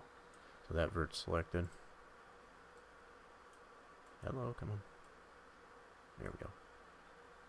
Okay, and then we should have this one down in the bottom here, yep. This one here. So those four verts there. So now that's snapped into place. Turn the snaps off. And basically just follow all the way through, I guess, to... And, you know, like I said, whether or not I'll keep this or not, but it gives you somewhat of an idea of the process you would use to, uh, to do this type of thing. So now I have that piece. I can clone it once again. And you can use a bigger piece. You know, the fact that I only used uh, um, the three sets of polys or whatever. Um, you could go bigger if you necessarily wanted to. I'm just kind of trying to show an example here. Okay, so we'll move this out. So you get you get the idea of what I'm trying to do here as far as just make my way over to connect to this here. And the fact that there's all kinds of wonkiness in here, and you could fix all that you know, by adjusting those verts if you wanted to. Yeah, there's quite a bit of wonkiness in here. Uh, could you take the box object tool? You could do that too. Yes. Yeah, so, yeah, like what, what you're suggesting there, uh, Torch, is to... Um, one way, uh, that's kind of doing it the long way, and I've gotten into the habit of doing it that way. Um, what would probably even be better to do, uh, to be honest, and I can show that really quick too, is basically just ex um, expanding on your already existing here. So like if I was to make this, and I think you do have to make an editable poly, let me go ahead and do that. So like from this point, um, you could select an edge, for example, and from this point, once you got the edge selected, you could do a shift drag. You could do it this way as well. Okay. So there's that method. That might be a little bit tougher to do, now that I think of it. But that's one way. Um, let me see if I can select that poly. I'll just do a control Z.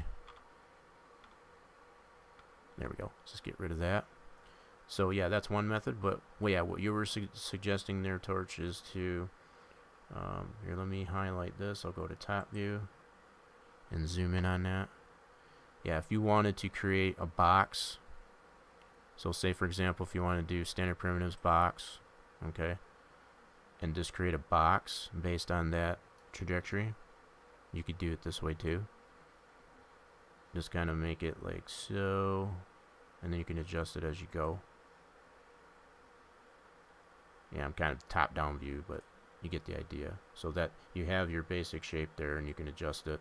As long as you keep that modifier, you know, in your list, you can still adjust the height and all that jazz.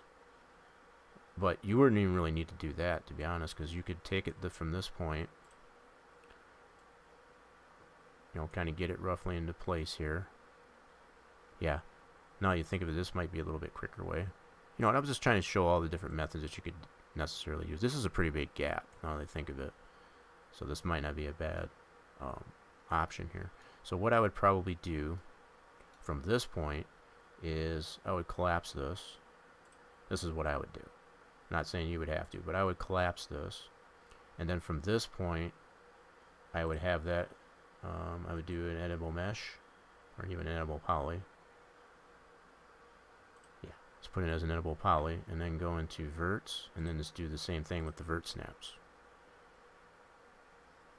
So each of these verts, um, let me highlight that, zoom in on that, rotate, there we go. So yeah, what you can do from here is by creating a box, you could go from this point, turn on your vert snaps. Whoop, I got two verts selected there, my bad. So I go right here and I could snap that to here. And it's going to be a little wonky because it's out of place there, but that's okay. You can get them all. Go like this, vert snap. Like so. Vert snap. Hello. Oops, hold on. I need to get position here, right? Uh, why aren't you selecting? What the heck? Okay, hold on. The heck did I do? Oh. Weird, okay. Anyway. The piss are you snapping to? hold on a second. Let me zoom in on that. I don't know what that's snapping to, but you know the fact that anything that you have in your scene is actually gonna it's gonna want to try to snap to. There we go. So yeah, get myself a little bit more. So yeah, you're just snapping all the verts, I guess to gosh darn it, clicking on the wrong stuff here. Yeah, you're just clicking, you know, snapping all your verts, I guess, to that original wall. Is all you're doing. So that could be quicker. Why is that not snapping to that? Weird. Okay, hold on. Da, da, da. Why it's not snapping. There we go. I guess I just had to get the right angle. So yeah, that should be snapped to that wall. And then over on this end. Do the same thing. Zoom in on that. Yeah, I don't want to. I want to do them one at a time. I don't want to do. That's for sure. There's no rush. Take your time with that. So yeah, we did this one here. Holy smokes. Okay, let's do this first. Let's back this up. Okay, that's a little too far away. So what I'll do is I'll grab all these. I'll turn the snaps off. Let's get it a little bit closer. don't be shy type of thing. There we go. So yeah, you can grab them all like this. Turn the snaps back on. And I might be doing a little bit, you know, harder and stuff like that, but it's like there's really no wrong way to go about it. I mean, it's I'm sure James would have had this done a lot quicker, that's for sure. I would have probably taken the approach like I was doing, which would have probably took longer because then I would have had to still smooth out all the wonkiness in the, uh, you know, as far as it being all warped and such. But yeah, I think this one probably does overall, even though it's probably taking me a little bit longer to do. Uh, it's probably a quicker approach. Uh, let me zoom in on that. Yep, see, so that'll snap there. So there you go. So yeah, that's taking a box and just basically snapping it, snapping the verts, I guess, onto the original, like so. Uh, was just checking out the Kansas Speedway LiDAR scan. 19 million points? Holy shit. Oh, that's right. They are at Kansas today, aren't they? Um, just insert loops to break afterwards. Oh, yeah. So from this point, if you found it necessary, that's probably a good point there, James, as far as um, if you needed to break this down. I think this this this is not going to be that many polys, to be honest. You could probably create this as one object. So now from this point, you would have this as an object. You would texture it, you know, to, to match what you got. And, you know, keeping in mind I still have some wonkiness. Let me turn snaps off.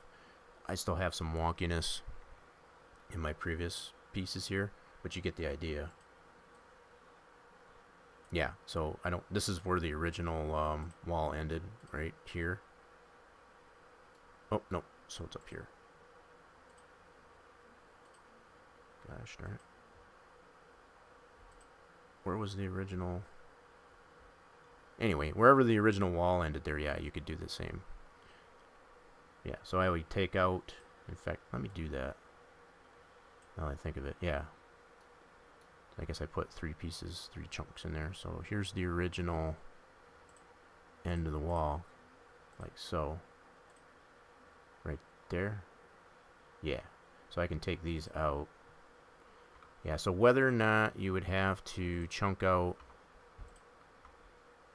um, any of this, I guess, you know, you could probably make this as one model, just this wall, to be exact. To um, let's need to do video on Swift Loop.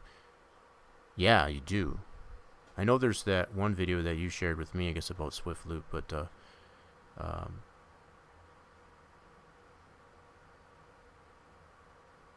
That's how you made the walls. Oh, as far as what the what the box. Yeah. Yeah, so you can do it that way. Um, so yeah, so I, what I did was I chunked out what I initially started off there. You know, just showing that method. I mean, it's that this is probably a better method to be honest. Yeah, because then you don't have to worry about all that wonkiness. You know, with those. And but what I meant by wonkiness, as far as all that uh, in and out you know, it's kind of all jagged and uh, I will try to remember to do some of that tomorrow morning. Cool. Yeah. Um, Swift Loop, from what I can remember, is basically, I'm just recalling by memory, um, basically involves, um, if you wanted to texture something similar to this nature, you basically select the model, you slap it, it's kind of almost like more like normal mapping. Uh, it's, it's kind of an extension or elaboration, I guess, of normal mapping, if I remember correctly. But it's basic. It involves, I guess, as far as how you texture uh, the model, as far as how that texture gets applied all the way around the model. You know, be it um, simple shapes as, as, as opposed to like uh, crazy shapes. You know, abstract shapes, I guess you will. So yeah, from here I can take these verts, I'm just gonna drag these. I got the snaps off. Oh, I knew it was gonna do that. Okay, so let me do it this way. I just want to get these a little bit closer to where we needed to go. Here, there we go. Yeah, so it works, and I can zoom in on that. And then just take those individual verts and snap them to the appropriate parts on the wall there. So I go like this. Select this vert. Vert snaps are on. Snap that one there. Snap that. Whoa. What are you doing? Okay. Maybe it's better if I zoom in on it. I don't know why it keeps trying to snap to the track mesh. That's what it seems to be doing. But anyway, you can see somewhat the problems you would run into as far as doing it the way I'm doing it. Not that it's wrong. I'm just saying what you might potentially have to deal with. So, yeah, here's the other two verts. Try to get it as close as possible. The fact that I only got the four verts, that's probably a good thing. Okay, and then the other verts here. Bring that over here. Alright, why are you not wanting to snap there? I hate when it does that. Alright. Get it lined up. Where did it go? Jeez, Pete. I don't know why it's like trying to snap to the track mesh. And like I said, anything that's in your scene is going to want to do that, which is normal. So if I was to hide that, I wouldn't necessarily do that. So yeah, got all those verts snapped to that original opening that was in the wall there. So yeah. Oops. And zoomed all the way out. How the heck that happened? Okay. I guess that's what I had selected. So yeah. If you've got this selected, to zoom in on that. Yeah, so from this point, now that you have that entire thing in there, um, what I do, I always get in the habit of doing is um, affect my pivot, center the model, and then from here, I think, you know, with what's in here as far as what you might want to do uh, from this point is, here, let me hide the, the actual track mesh. What you would want to do, since you're not going to see it, is the, by doing a box, you're going to have this faces on the bottom. You don't need those, so just take those out. So if I go into here, go into polygons, and take those out. I think that's just the one. Is that one poly? Or is that two? Nope, just the one. So I'll just take that out. And the way you can tell, at least the way I've got it set up in my 3D Max here, is if you render it, looking at it that view, you should see that it's gone. Let me zoom in on that just a little more. Yeah, so that, take that bottom poly out, so you're not going to be able to see that, so you won't need it. So this right here, you could probably make it as a model, if you still wanted to. I think the number of polys in here, it's probably only, what, five polys? Um, yep, five polys. So that's more than sufficient, I guess, to make a model. What I would consider doing uh, from this point, um, if I was to go further with it, I would go ahead and apply um, all the foam and as well as the safer and all that jazz. The same. Uh, that's what I would do. Um, but see, I would probably apply, now that I even think of it, I might even go so far as to apply the safer, I guess, even a little bit past where that opening is, you know, as far as in the track mesh. Now that I think of it, you know, it's like if I bring the track mesh back. So even if I was to, if you were to apply the the 3D safer, you know, at least on both sides of this opening here, so that way you could just line all that up there, you know, to add on to I guess this piece, and then just you could probably make that all as one model. So, yeah, yeah, it's going back as far as the way it was snapping, yeah. Uh, when you lose the vert, um, it's snapped to the mouse cursor. That's most cases where, yeah, that's what I figured. It was just the way I was. So, yeah, uh, that's the thing to take into consideration, I guess, when, uh, yeah, it would have been better, now I think of it, if I would have just kind of chunked out uh, those areas as a separate object, and I could um, hide those so I wouldn't have to deal with it. That way, I'm only working with what I want to try to attach to. So, and what I meant by that is, like, if I was to go into the actual track model, um, select off of that. Yeah, so if I go into track model and just chunked out, just kind of drag select. Hello. Okay, go to polys. Yeah, and just chunk this out. Yeah, I could, yeah, select these out like so. Um, actually, do the control, and I could uh, move those out. I guess as a separate. Um, what am I pushing? Oh, that's my Windows key. Duh. Dumbass. Dump butt. It's like, why is it not control selecting? Alright, so that, yeah, control select. And you can see where those polys end. So yeah, you can just kind of select them like so. Whoops. Somehow I got that selected out there. How did that happen? Alright. Start that over.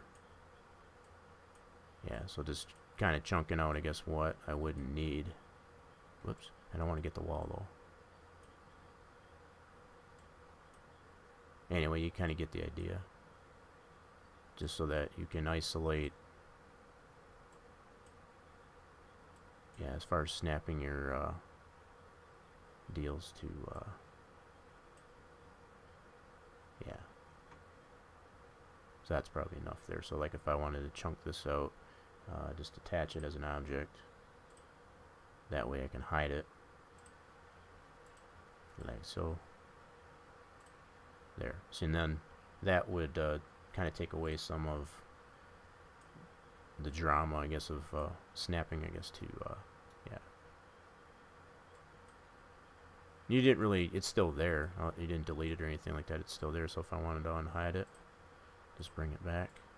And you can finish up whatever type of modeling you're trying to do. Uh, did a lot too, but it's easier to see when you aren't moving the mouse. Angle of the dangle? What was that? Not sure what that's in reference to. The angle of the dangle, yeah. Alright, so anyway, that gives you a little bit. I think moving forward, and this gives you somewhat of an idea of um, what you'd have to work with there. I mean, it's, it's still quite a bit of information now. Like I said, if I wanted to, I could probably take our standard 3D foam that, um, now keeping in mind too, I did not set um, the wall to where I would have wanted it necessarily, you know, based on even LiDAR information for that matter. I just set it at one meter tall, um, half a meter thick, whatever. So that's something else to consider too, um, as far as making sure that your wall, prior to making your DAE, is what size you want it to be. Um, because as this sits right, as this stands right here, I think I would have to make the wall a little bit taller in order to accommodate, I guess, the foam that we have. You know, if I was to build this out and actually create the safer. Um, because that, that information we already know. Um, as far as the size of the safer, you know, as far as the height of it being 40 inches and so on. Um, we can apply that foam, you know, we could easily, from this point here, we could create um, an edge for that to, to follow um, a space, you know, using the spacing tool and so on we could we could do all that from here. And then that distance and then as far as creating the 3D modeled um, steel we can do all that even from this point without having any other information. You know so regardless of whether or not like I was saying before as far as to put this the safer some of the safer I guess applied to the actual track you wouldn't need to. It's not necessary you know, because like I said, the um, the information for the safer we already have, you know, as far as the thickness of the foam, and the um, the only thing we don't have, um, and that's that still holds true, is the the banking, as far as how much um, angle you would have to have on the um, the foam and all that that noise. So um, the fact that you don't have any of that banking information that's relevant in the wall, you know that's a critical that's a critical piece of information as well. So that's something else to take into consideration. Um,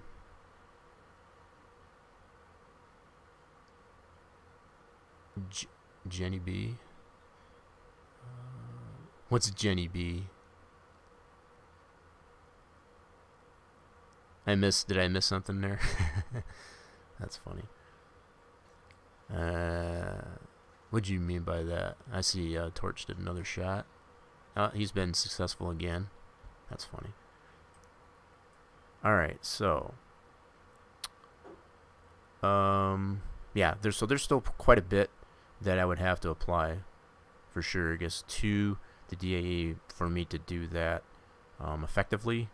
You know, as far as doing this here, because like I said, not having just as I said, uh, not having that information as far as the um, the height views, you know, as far as the angularity of the wall and all that stuff, you would need all that to do this effectively.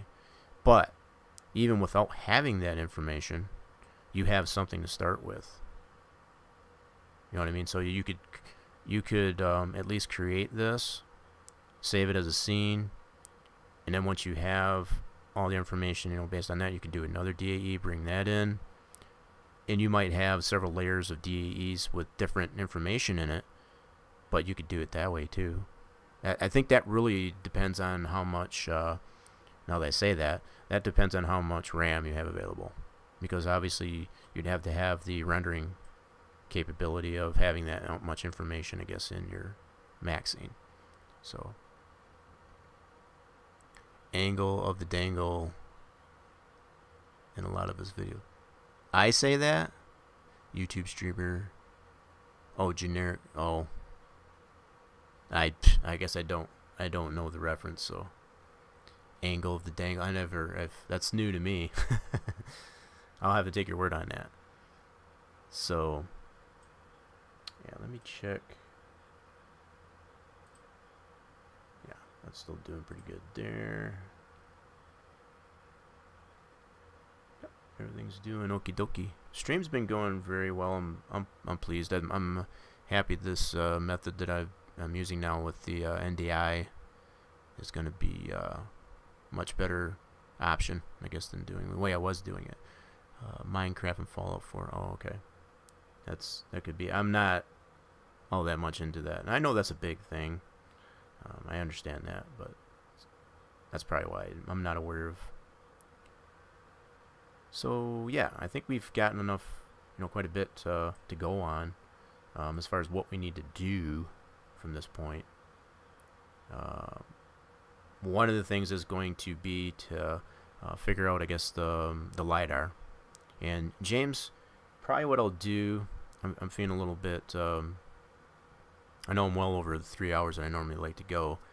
Um, I'm going to go ahead and reset this. I'm not going to save any of this, but this gives you somewhat of an idea uh, of what, you know, processes, you know, once you have all the information that you need, uh, how you'd go about it. You know, showed a couple different ways of how you can fill that void and all that noise. I'm not going to save any of this. So I'm going to go ahead and reset.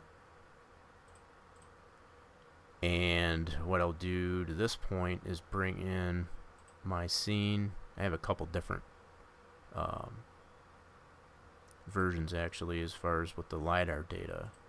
And I've played around with the idea, James, that you were um, entertaining um, as far as um, mapping the actual LiDAR uh, to the sat image. And to me, and that's kind of why I want to go through this. It's kind of more work than I feel it's necessary, but uh, let me bring this in. Uh, I think this is my newest one. Uh, la, la, la,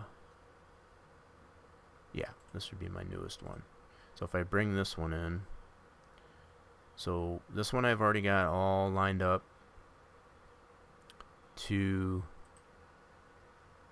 uh, this one I've already got my cones applied. This was my initial method of applying the cones based on uh, saving this scene I've already removed. Uh, let me double check that. Yeah, I've already removed the ground plane. And this is without having the LiDAR actually mapped. Uh, many of the demo typically is in reference to boobs, old school slang, or other bits and... okay, gotcha. I gotcha. Alright, so... Yeah, without actually mapping the LiDAR itself, okay, I've got these control points in here. And I think I've kind of showed you this already, but I'm going to kind of go over this a little more detail. So like my first cone here, if I zoom in on that, I know you were mentioning um, too, I guess about as far as um, having a more uh, less defined cone. See, like mine has several um, height segments on it. The fact that I only need one with about eight sides, as long as I got that point, that that's a fair fair point. Not no pun intended. Um, as far as being able to create that as a 3DO model to potentially bring into Sandbox to apply that as elevation um, in our X sections in Sandbox, that is a fair point. Now, what I was, you know, without mapping this, I'm, I'm going to keep on to that. Without mapping this and just going completely by the information that's in the point cloud here. I know it takes a lot longer to do it this way. And I'm, I'm kind of open for suggestion here. Without taking the time to map the, the LiDAR itself and get that all lined up and what have you, I don't know of a better way, because I know what you were trying to show me is like doing the, uh, the, the lines and have the cones follow that. I don't. I still don't think that's a. As far as the way the the data that I have here doesn't work very well, because you still have to snap that line to avert. You know, to the actual lidar mesh. So as far as dealing with it, you know, it's fine as long as it's a relatively flat surface. As far as applying that line to, you know, initially get down so you could have the cones follow that path but doing it that way, I haven't had success. And that's, like I said, that's the, considering not mapping the LiDAR. So, although I feel that this, this method seems to be a little bit um, slower process, I still feel, in my mind, still, and like I said, I'm looking for your input, I guess, on this at this point. Um, not using the snaps on this. I'm, all I'm doing is I zoom in on this, I select one at a time until that point. I don't know why I got two on this. Until it pierces the LiDAR. To me, that's giving you a little bit more control and making sure that it's hitting the point as it needs to, as opposed to trying to snap a line, I guess, to that LiDAR information. So, um, keeping in mind the mesh is relevant and is fake and created by, yeah. No, I, I do understand that, but even doing it with the line method that you were mentioning there, it still doesn't, it, it doesn't make, it doesn't matter. You're still going to have to snap, you know, try either creating a line or just moving these into, it's still going to take as much time. I guess is the point I was trying to make. So whether or not you do a line and then have the cones follow that line or just laying these cones out based on the uh, image, you know, at zero plane, and then just moving it into place, you know, piercing, it, it's still going to take us just as much time. See, the snapping to avert, it, it, doesn't do any good. See, like if I do that, let me, let me just show this. So like if I select a cone, I don't know why I had two there, but anyway. Um, so like if I snap a vert to this. See, look at, oh, shit. Yeah, so like if I snap, a, see what it tries to do? It's not going where it needs to go. You know, and I'm trying as best as possible to go straight down, but see that it's it's putting it out of line. It's not putting it where it needs to go. It's moving it from where I initially had it. Way out of whack. So that snapping doesn't do any good. So going back to how I placed these initially, I put those right over top of the wall based on the SAT image. So in order, in an effort to bring it straight down until it pierces, that point pierces the actual LiDAR information, that's the only way that I see feasible without jacking up, I guess, the original position that I put the control point in and just bringing it down. God darn it. Keep selecting the wrong crap. Alright, so. It just doesn't work the way you were trying to show me, I guess. It, because, you know, trying to bring it straight, it do, the, the snapping tool doesn't let you do that. It just comes straight down until it snaps. If we had that option, then yeah, I could see that would be an option, but.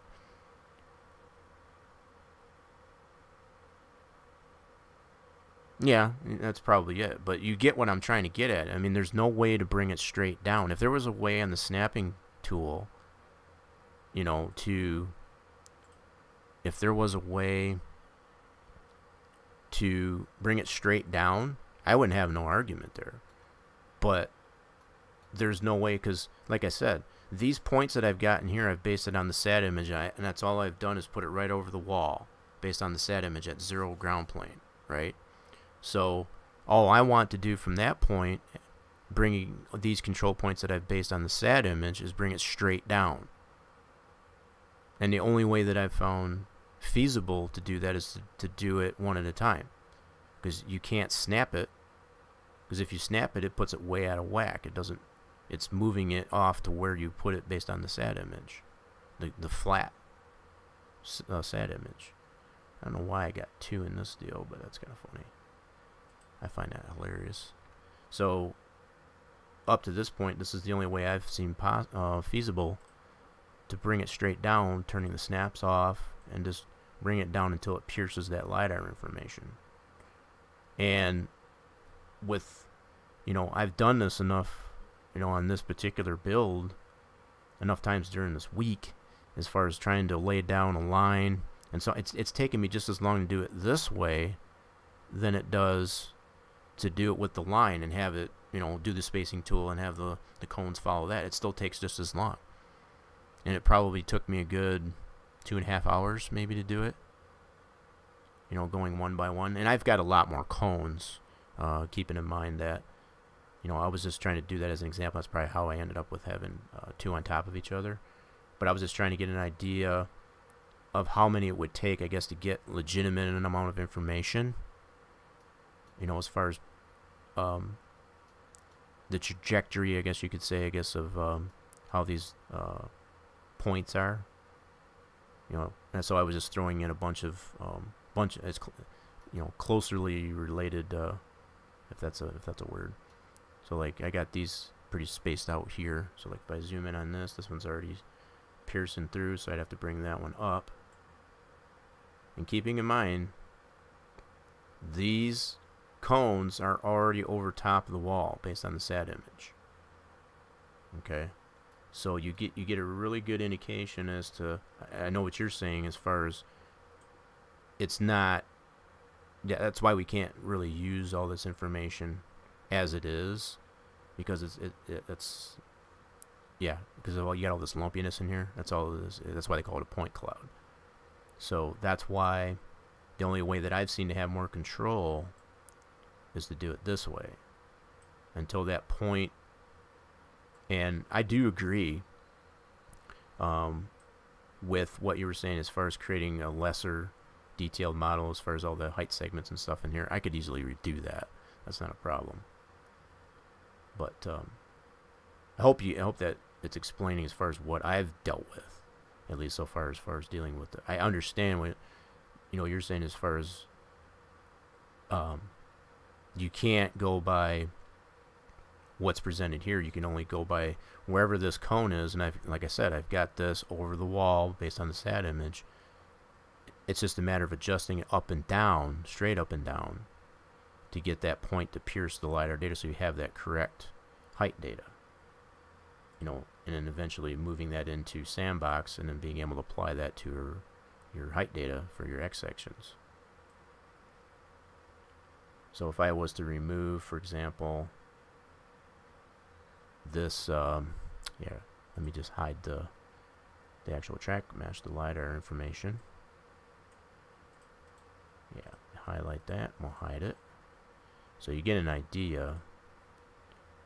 Yeah, see, I haven't adjusted any of these, but you get an idea of how this would work. You know, just for the other viewers, I guess, that are watching, uh, of how this point cloud data would work. So like these control points, what all they doing is just showing, uh, pay no attention to this one. I'll just delete that one. So yeah, you get an idea of exactly how this height actually changes. You know, there's our highest point.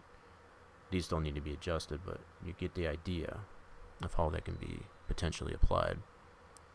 Uh, we'll be putting together some videos on, yeah. We aren't no, and you know, but this is the types of things. what I wanted to show is exactly what we're trying. You know, because there is a way to use that lidar. It's just a more effective way to use it. Is, is all. Yeah, and that's that's all I was trying to show. Um, but you know, realistically, I don't think it's it's really any good. I guess to do a snap. I, I guess when it's all said and done in my mind, as far as everything that I've tried to do with snapping it to the lidar, it just doesn't work.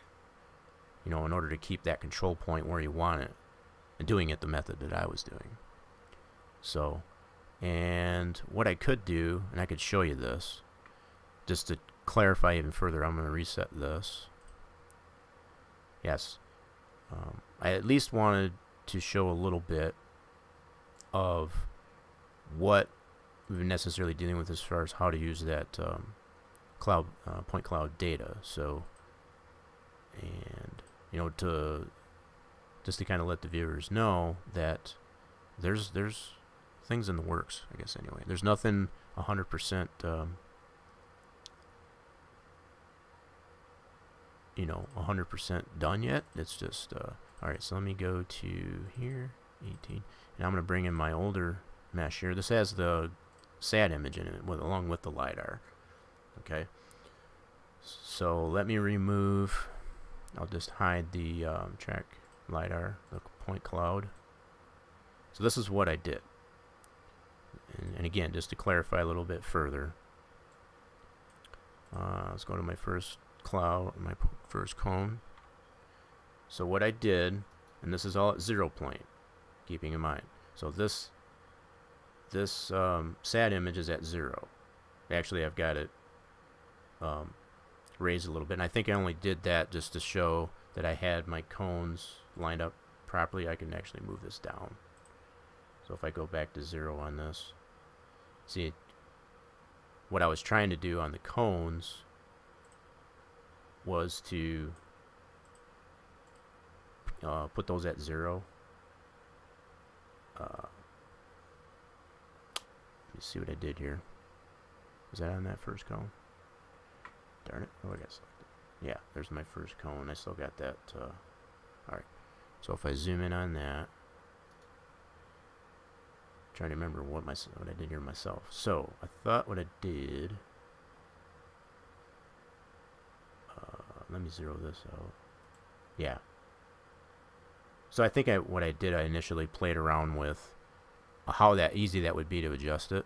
I think that's what I did. I'm just trying to remember what I did here. And this is all preliminary. Keeping in mind, this is all very, very preliminary. But you get the idea as far as I took the SAT image, ground plane, it's all mapped, you know, as far as uh, based on Google Earth, uh, measurements and so on. And then what I did, and this is the other thing that was a pain, is I had to render, once I got the cone where I felt it needed to be, and render it, and then adjust it one at a time. So I don't know if that's easy enough to see, but I got that cone, the point over the wall. Let me zoom in on that a little bit more. I'll go top down, like so. This will probably be easier to see, and I'll zoom in on it. But I ha you have to render it each time, and then adjust it accordingly. So this was my process. So I've got that cone over the top of the wall. Okay. And that's what I did to every control point that I have in here. So that's what I've carried over, I guess, into that other scene that I was showing, as far as, you know, and then bringing the LiDAR into it. If I bring the LiDAR back on based on this cone, for example, uh, bring the point cloud back in, okay, and then put that at zero, which it is, and then I'll hide the SAT image. Okay, so now I have the point cloud. And I got these lines in here which I don't need. Yeah, let me delete that. Just, that was just trying some things out with that line, which wasn't working for me to be honest. Okay, so the fact that okay now I've got the the point cloud at zero. It's all at zero zero zero. Now I can bring the cone from this point down to the point cloud until it pierces. This has been my approach, I guess, to understanding. See, now that's bringing it to where it needs to be based on the point cloud. That's at zero. See, now, something else that I, I've come to realize, I guess, with this point cloud, right? Because of the way this is laid out here, this has got a pretty um, significant amount of slope um, on one end of the track as opposed to the other, and that's what I come to find, I guess, with, with putting these control points in there. So, keeping in mind, I guess, that this point cloud is at zero, everything's at zero. So, if you consider where I've got these uh, control points, so like this one, how far down is that? This one's now at minus 11.084 uh, from zero. Okay, so what you would probably also have to consider, I guess, as far as moving that in there, that you would have to zero this out, affecting the pivot only. So that that's at true zero, I guess you could say. So you get a better representation of actually how much elevation change there is from one point to the next. So that's something else I just thought of, I guess, just now, to be honest. Yeah, so, but I, I, I hope if anything that gives you a little bit of understanding. So the fact that we cannot, you know, if we had the ability to be able to take this entire lidar model, this point cloud information, and put that in Sandbox, we wouldn't even have to do this. Okay, but the fact that it's nearly impossible uh, to it's just too many, it's too much information, even for this one. Um, there's, in fact, let me uh, count it out here. So the number of polys in this alone, um, keeping in mind I, I have the dirt track here as well. So even if I was to consider just the track, not the dirt track, but just that, that's um, 119,000 polys. So we're just south of 120,000 polys. That's just way too much information to break down into a 3DO model and bring that into Sandbox to use as um, elevation data. So the fact that we do necessarily have to consider um, using control points, as we've uh, labeled them, you know, uh, based on the LiDAR data, using a cone, and um, like I was saying, as far as you want to use it, uh, make it so that it's kind of almost the same idea of this 3D Safer process, and it's basically um, creating maybe even uh, two or three, maybe even four different models of control points to bring into a Sandbox so that you can use those control points as a reference point as to how that um, elevation data as far as the X sections in the sandbox need to be adjusted because you can adjust your elevation based on those control points. That's the whole idea of it. You know, because we can't bring this LiDAR data in to Sandbox itself. It's just way too much information uh, by itself. So, um, if anything, that's what I wanted to. But uh, I guess the other thing that I consider, and I know James, you have necessarily shown this as well. I think it's a little bit, um,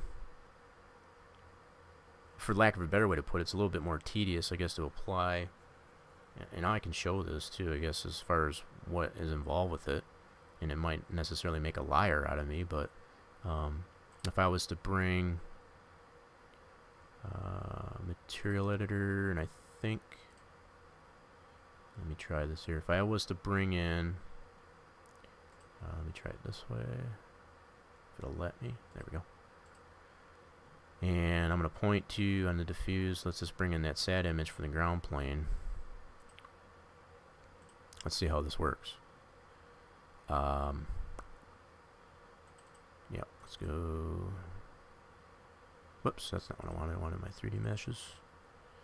Charlotte, 2018. Yeah, so let's bring in this. Alright. And then if I go ahead and apply that to the model, okay. And then what I'd have to do, now I assume this is what you you had done there. I was um, as far as using the unwrap for it to get that mapped. Well, let me go top down. Okay.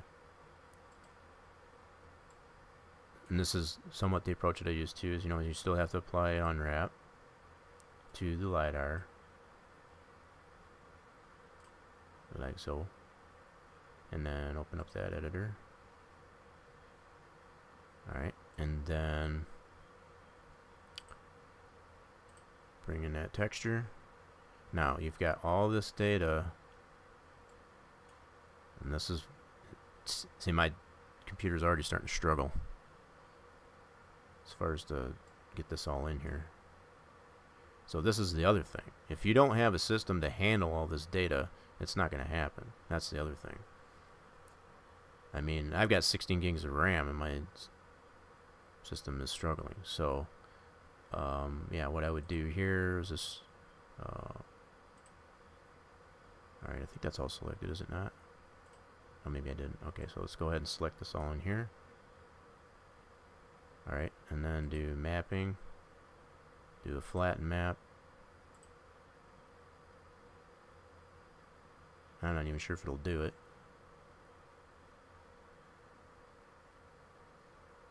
I gotta give it a second. It's it's thinking about it.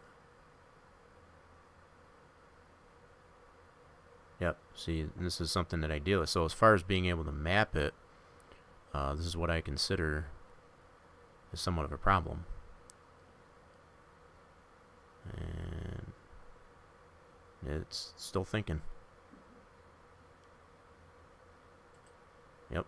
So it might necessarily crash on me. So. Yeah, see, I can't do it. See, this, this is the problem as far as mapping it. Um, yeah, see, it, it's crashing on me. It's just too much data to, to map that. So th that's what I consider as far as like it, it's just not feasible, I guess, to do that because it's just way too much data. So unless you have something even close to what you've got as far as the system, it's impossible. So it's like that's why I go back to what I was trying to show just getting the control points set up on the on the the, the flat sat image and then just bring those points down I guess to the lidar mesh you know bring into the lidar mesh yeah it's gonna crash on me. And this is kind of what I dealt with before. Yeah it's not gonna work. So let me see if I can hold on hopefully this doesn't go away on me. I'm gonna have to close this out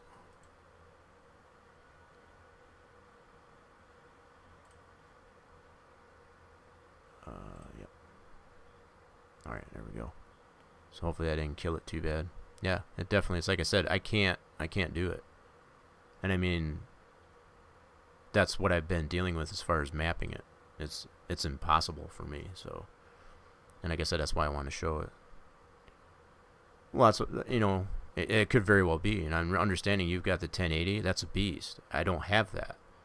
See, and I guess I'm, what I'm considering is what you know anybody that would necessarily want to do and use that kind of information what's the feasible um, option I guess to, to be able to use to do that?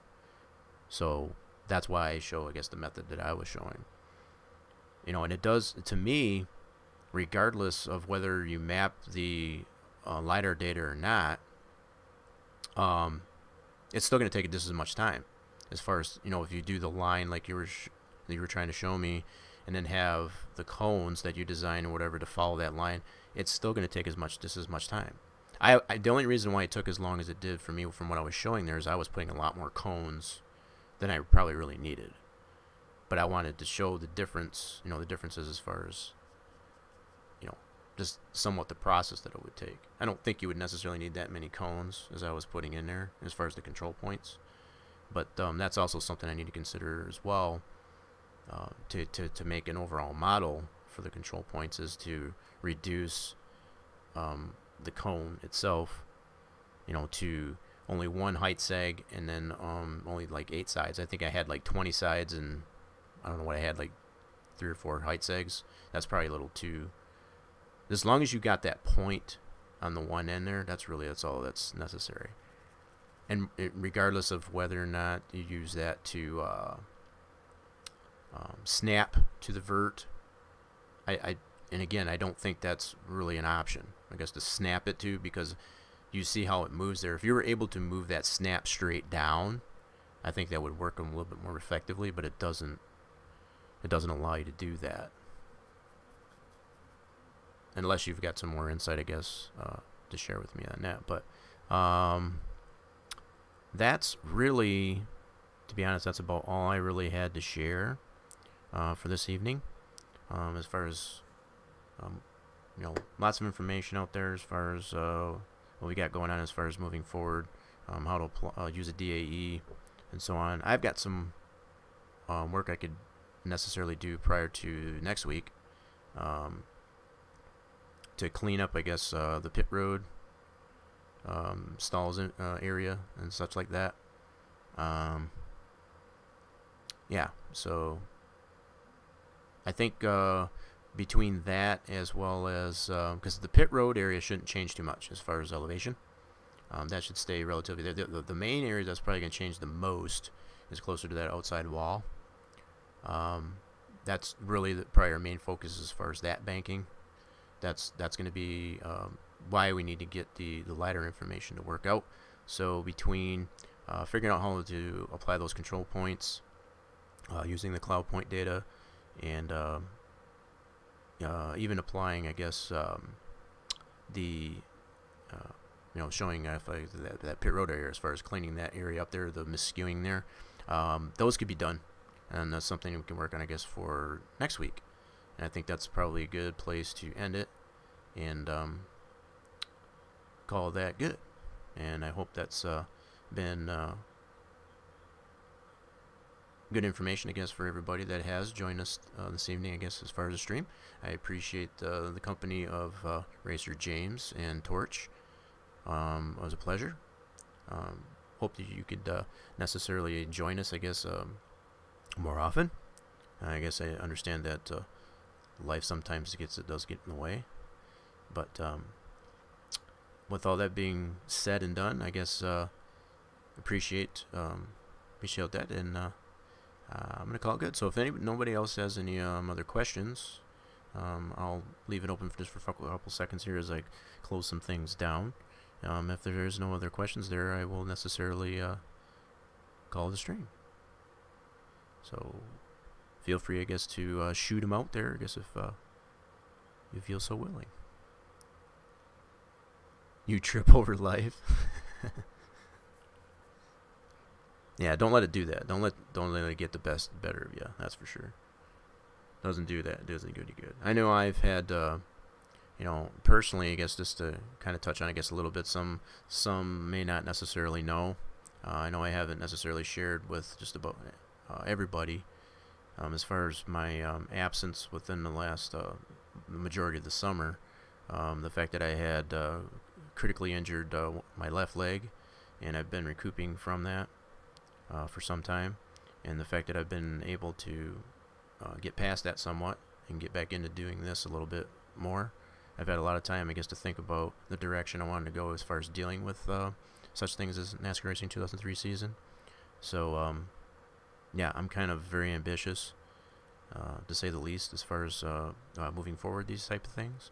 So um, uh, do necessarily look forward to um, plenty of more streams uh, dealing with this uh, same exact thing. Um, I'm not even 100% sure uh, how many episodes this will take, I guess, to get it to to fruition, um, as far as to.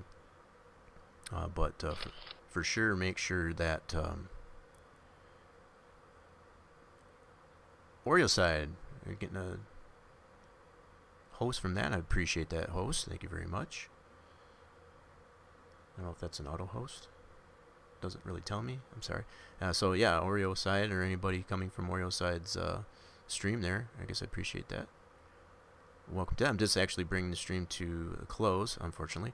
Um, but I was leaving the uh, uh, was leaving the mic open. I guess for anybody that did have any questions as far as uh, what we've gone over this evening. I know there's quite a bit of information that was put out there, and uh, much to muddle over and to think about. So, um, but yeah, there's definitely some big things in the works. I guess as far as in the realm of uh, NASCAR Racing 2003 season for in it by itself alone. Um, so, if there's nothing else more, I guess to be said, I uh, again I want to thank uh, everybody who decided to show up. The the host, I guess, by Oreo side, and uh, uh, again, uh, Racer James and Torch there, I guess, for your company.